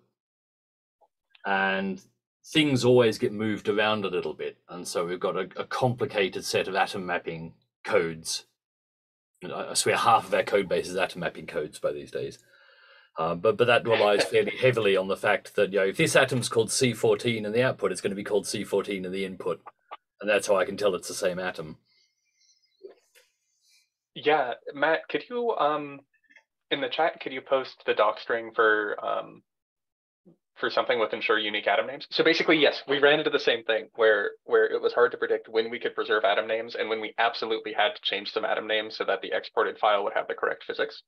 Yeah. Um and so we just posted uh in it, shortly before our last big release, we put in a method that uh it, so you saw the keyword ensure unique atom names and it was false or maybe it was true in the thing that we saw. And we realized that true and false doesn't provide the granularity that you actually need to use this in the real world. Yeah. and so now you can provide either true false or the name of a residue iterator. So you could say um, uh, you know don't ensure unique atom names anywhere. That's false. True means ensure unique atom names everywhere and then residues for example at like the string residues would say there's an iterator on this molecule called residues, and within each residue, make sure that the atom names are unique. But between residues, they can be different. And so that's that's part of our effort to not completely obliterate everybody's atom names. Yeah, and part of the issue we've had, you know, we're using the the Amber um, formats for sort of historical reasons. But the pain we have with them is, of course, they completely blow away all of your residue numberings and identities. So it's you know, which aspartate in the output was the aspartate in the input. Again, that's not necessarily always trivial. yeah. Oh man. And then uh, uh, Open Free Energy put in a an 11th hour feature request to respect insertion codes, which we hadn't even considered before. Uh, so now we respect insertion codes Uh, as being a good. defining characteristic. Of, Yeah, yeah. yeah, As long as you sort of support, you know, residue names, numbers, and insertion codes, that's going to make me very happy indeed. Okay, great. Then yeah, I think I think you should be happy, but I'd love feedback if uh, the new toolkit's doing something that you don't like. Cool. Thanks. Does anybody else have uh, like a, a story about what important export pathways would be really important for them? Because this this is basically going to guide our, our development priorities for the next year. If we can hear from you.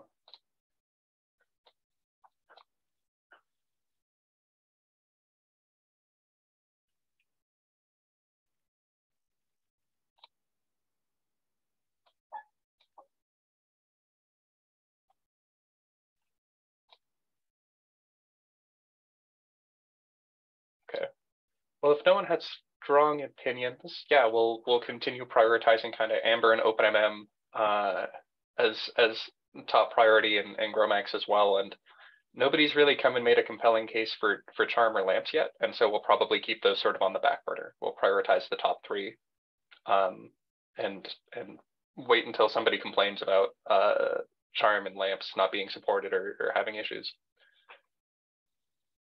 Okay, cool. Thanks. Does anybody, so we're going to get into the virtual sites notebook after this, which is a bit of a niche topic and may not apply to everyone. Uh, so does anybody have uh, like any bigger topics uh, like guidance questions or um, or sort of topics about any of the previous notebooks that we've looked at today?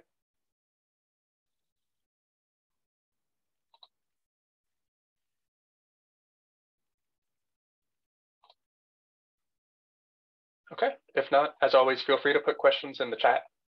And yeah, Matt, I think we can go ahead and get started with the, the virtual site exploration notebook.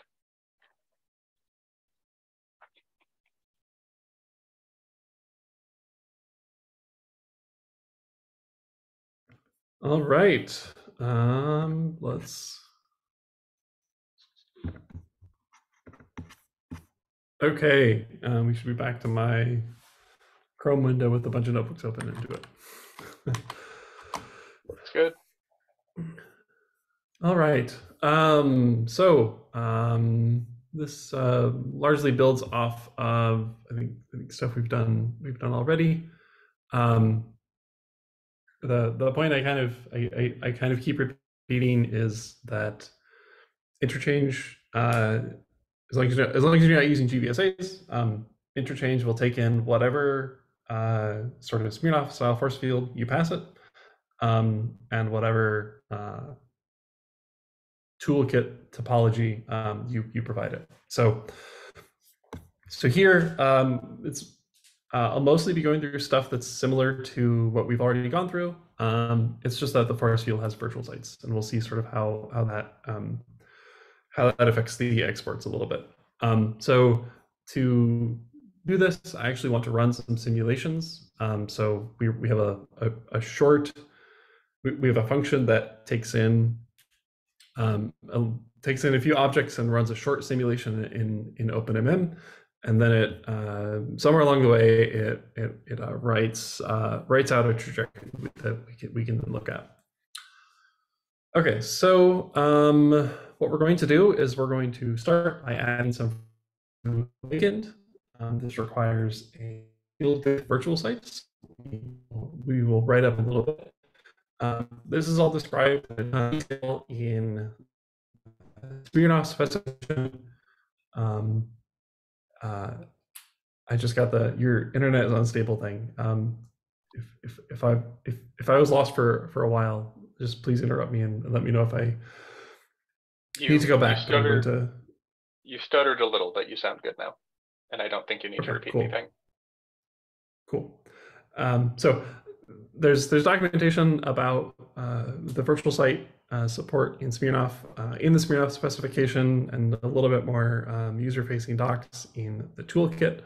Um, so this this might look kind of complicated and dense and long, um, but the the short of it is um, we have three different types of virtual sites here.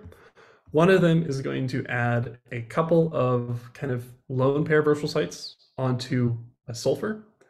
And then the other are going to add kind of uh, sigma hole correcting or something like that um, uh, virtual sites into uh, around halogens, specifically kind of along the bond between a halogen and uh, the carbon that it's bonded to.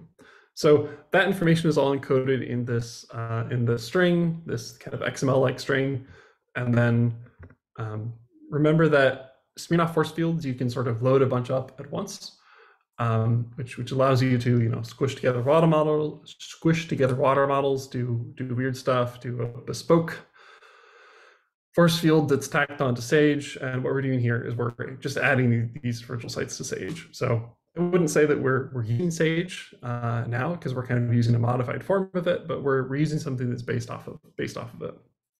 Um, and it should go without saying, just because of the numbers sake things, but these numbers are have like no scientific basis. And if you, you know, the physics here are probably probably worse than having than not having virtual sites. So these are not these are not trained at all. Um, so we will. Uh, uh, did I? Okay, I did not run the cell. That was the problem. Um, so this is a kind of large ligand, so it'll take a little bit to um, to create the interchange. I think most of the time is spent doing the the AM1 BCC. Um, this will take a few seconds, um, but here you can see the ligand. We have this sulfur in the middle that will have uh, a couple of virtual sites tacked onto it to um, you know do something with the ESP around the, the lone pairs that actually do exist on sulfur. And then we have the, the fluorines on the left, and then we have chlorines on the on, on the bottom, and there should be some sort of sigma hole type virtual sites um, on these.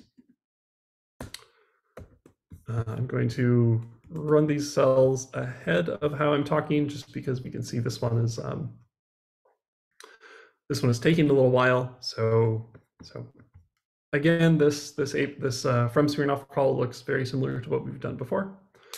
Um, one difference here is that uh, virtual sites are added on as a separate handler. Uh, so I want to assert that that, that they're in there. Um, the internals are are tricky because virtual sites um, need to know about geometry and stuff, but they also affect uh, potentially affect the electrostatics and van der Waals interactions. So there's a lot of crosstalk between those handlers, um, especially uh, when you're exporting stuff out.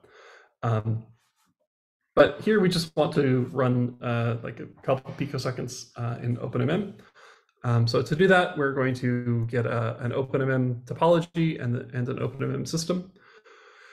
Um, a, a, small quirk kind of in our infrastructure um, right now is that, uh, so you may remember earlier I used interchange dot topology dot to OpenMM to get an OpenMM topology out. That's because uh, the toolkit already has this way of going from the OpenFF topology to an OpenMM topology. So I'll just use it. Um, the, the thing is, virtual sites don't really, virtual sites don't exist in molecules. They're sort of a, a, a construct of, uh, of applying a force field to a molecule. So in that sense, there's no way that the toolkit can can really can can uh, sort of formally know about virtual sites. So you can't put a virtual site on a molecule object. You can sort of only deal with that at the interchange level because you need to know a little bit of the physics associated with, with it as well. So if I call interchange.topology.to OpenMM, I will not get my virtual sites because again, the toolkit does not know about them. Or the, the molecule uh, object does not know about them. Um, to make that actually happen though, there's a separate interchange dot to OpenMM topology method that does basically the same thing as the toolkits to OpenMM, but it does include the virtual sites. So I, I, understand this is a little bit confusing because there are two things that look pretty similar, but two things that are not quite exactly the same. Uh, I, I, get it, and I, I, hope in the future we can find a way to make this a little bit more, um, uh, a little bit smoother. But but for now, we need to we need to call this method to ensure we get the virtual sites. Um, there's nothing different about calling the OpenMM system. Um, the, the handling of virtual sites is, is handled in there. Um, here are just some checks. Uh, this is not needed to run the simulation, but I wanted to um, just get out the number of virtual sites. Um, you can do this by querying the OpenMM topology. Um, and I want to make sure that the number of virtual sites that are in the topology is the same that as the number of virtual sites in the system and then also the same as the number of slots in the virtual site handler. And, and those are all the same. In this case, it's, it's five, uh, five virtual sites everywhere. Okay, and then we can run a simulation. It took two seconds because we didn't run it for very long. And then you can see I have, you know, I just have this little molecule dancing around in space. The physics of this movement look uh, reasonable, I would argue.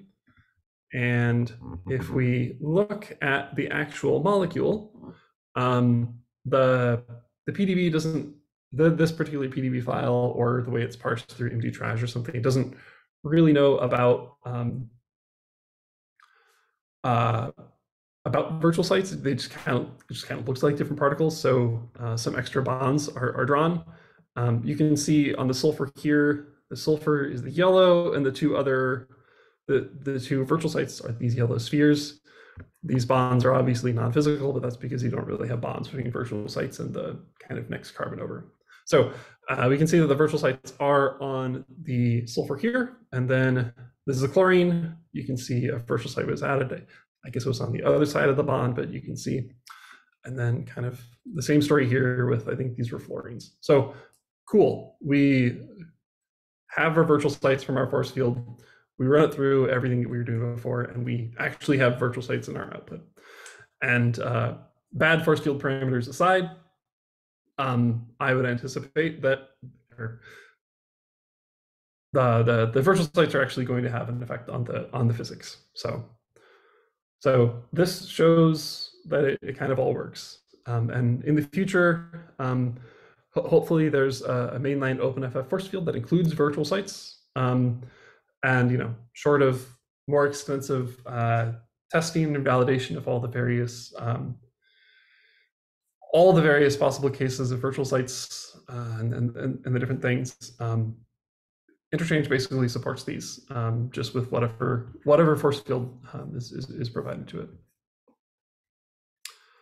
Okay, um, so to get maybe a little bit more involved, um, I wanted to show off how if you if you want to dance through a couple of hoops, you can also take this ligand, which has virtual sites on it, and solvate it in water uh, using a four-site water model. So now there are virtual sites on the water molecules as well. Um, we're currently uh, discussing ways that open force field might um, distribute water models uh, or, or, potentially other uh, other uh, kind of commonly used force fields in SMIRNOFF format. Uh, nothing's kind of uh, set in stone right now, and um, so I can't make any guarantees around it. But um, I, I, would like I would like to be able to ship out this this XML without without digging into my tests, and and I suppose um, I suppose in, in cases like these, just just passing around the XML snippets and examples is is, is okay. Um, but anyway, this is a, uh, a, uh, a SMIRNOFF encoding of TIP4P. And just like before, where I tacked on the virtual site uh, XML onto Sage as it was being loaded, I just tacked this on. Um, so from here, I load everything up and I have this one force field object. I wanted to give it a different name to avoid accidentally confusing myself because uh, this is all in one notebook, but this is Sage plus the virtual site uh, bit plus tip4p. Um, this block of code should look pretty similar because I basically stole it from the uh, protein ligand example we went through a few minutes ago. Uh, I won't I won't go over that. Uh, I won't go over that again. Um, this takes the ligand, finds the number of water finds the number of water molecules, um, and, and solvates them into into an MDTraj trajectory. Uh, while this runs, though, I will make uh, a subtle point here um, so, so I loaded tip4p into the force field. So now there's one object in memory that I have that knows I'm going to do virtual sites. Um, this entire block of code here does not know anything about virtual sites. Um, it uh, doesn't know that we want to use tip4p on our water. It doesn't know that we want to use these virtual sites on our ligand. Um, uh, in principle, I could use the same block of code and I can apply tip3p. And I believe one of the examples in the interchange repo uh, does this, where we sort of build everything with a three-site water model. And then because those molecule objects are the same if you're going to use a, a three or a four or five or whatever site water model, uh, water model um, you can just reuse that topology, just applying a different force field to it. So, so, so again, because like the Packmol stuff all ran with, um, without virtual sites, um, you can kind of use different force fields uh, along the way there. Okay, um, and then what I do is, um, I think stuff that I, think I've, I've, shown before um, plenty of times. Again, I make a topology. I want to set my box vectors and positions. I make an interchange passing the, the stuff that I made. Um, and then just to show off that we can run a simulation, um, I, I, call this same, um, I call these little helper functions again. This one took a little bit longer since I have waters. And then this, this uh, representation is a little bit more involved. But I want want to show that um, it definitely looks like the ligand still has these virtual sites on it, and the water looks pretty funky because um, visualizing uh, four and five site water models is is kind of funky. Um, but you can see, even though this is at a kind of goofy low density, uh, the very early trajectory physics that you get out of it is at least at least more sensible than just blowing up. So, um, you know, from this, I would have some some reasonable confidence that, that the simulation will actually run. Okay, so uh, this again, this example shows off how once you once you get um, the virtual site parameters into a SMIRNOFF force field, interchange just handles them. Um, and then depending on you know how, how you actually call your engine, you might want to do slightly different things. So we had to jump through a couple hoops to get the virtual sites into the OpenMM topology.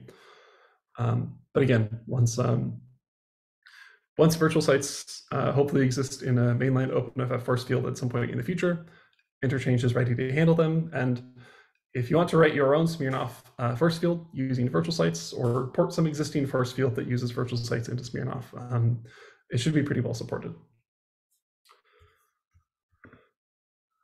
Okay, uh, that's the virtual site notebook.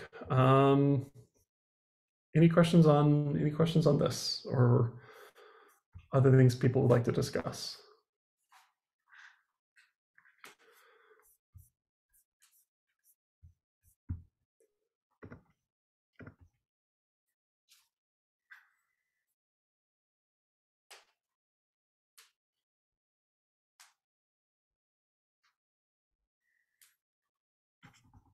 Okay.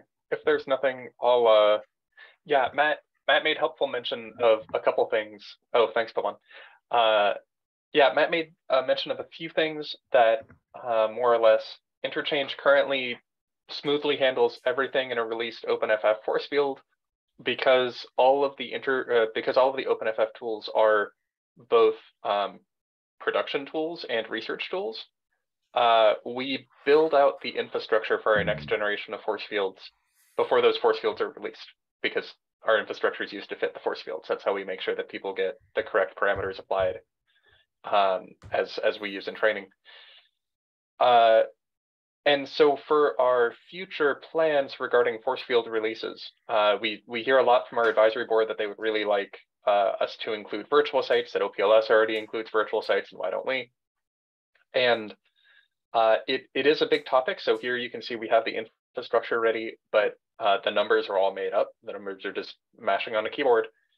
And to do the training is is a bit difficult, and we're working on the infrastructure to the training correctly. Um, it's you know a, a, poor man's virtual site implementation could be trained using just electrostatics, uh, which we can which we can calculate using our our quantum chemistry implementation but a better one, and, and to be consistent with the previous OpenFF uh, force field training that we've done, we should not just be fitting to electrostatics, but also physical property data. And it's hard to get uh, enough physical property data for, uh, for example, sulfur-containing molecules to know the density of these mixtures of sulfur-containing molecules such that we could train uh, a virtual site containing force field on them. Uh, we're sort of in a data scarcity position right now. And what that means is for the Rosemary force field, we're looking at improvements to electrostatics, but there's still going to be atom-centered point charges. Uh, like our, plan A is uh, try to move to something better or more scalable than AM1 BCC. So either higher quality or um, uh, an implementation like a, um, uh, a neural net that uh, can look at larger molecules and, and assign AM1 BCC charges that are consistent with how we've trained our force field but to things like big polymers, and that would that would let people do amazing things in material science and, and formulation chemistry. Uh, so yeah, again, just to temper expectations, we're super excited about virtual sites. We've got them implemented in the toolkit and in interchange, and we can run simulations. But it will be some time before we come out with a parameter set that includes virtual sites.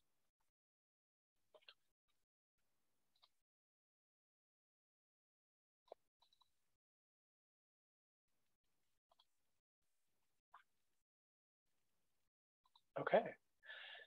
If nobody has questions or comments, uh, we'll get into developer support time. Um, so first, thank you all for for joining us today, and this was this was really great that we had a, a good audience. Um, if you are trying to use interchange and you run into any trouble, we encourage you to look at uh, to talk to us on the interchange issue tracker on GitHub, and this is uh, a good way for us to make sure that we understand the details of your your issue and that we can uh, direct future future development to resolve uh, what you need. You can find further examples as Matt is showing in the interchange examples folder in the in the main repository. So this is separate from the the uh, workshop repository that you were sent today, but the main repository is not too hard to find. It's in the open force field organization called OpenFF Interchange.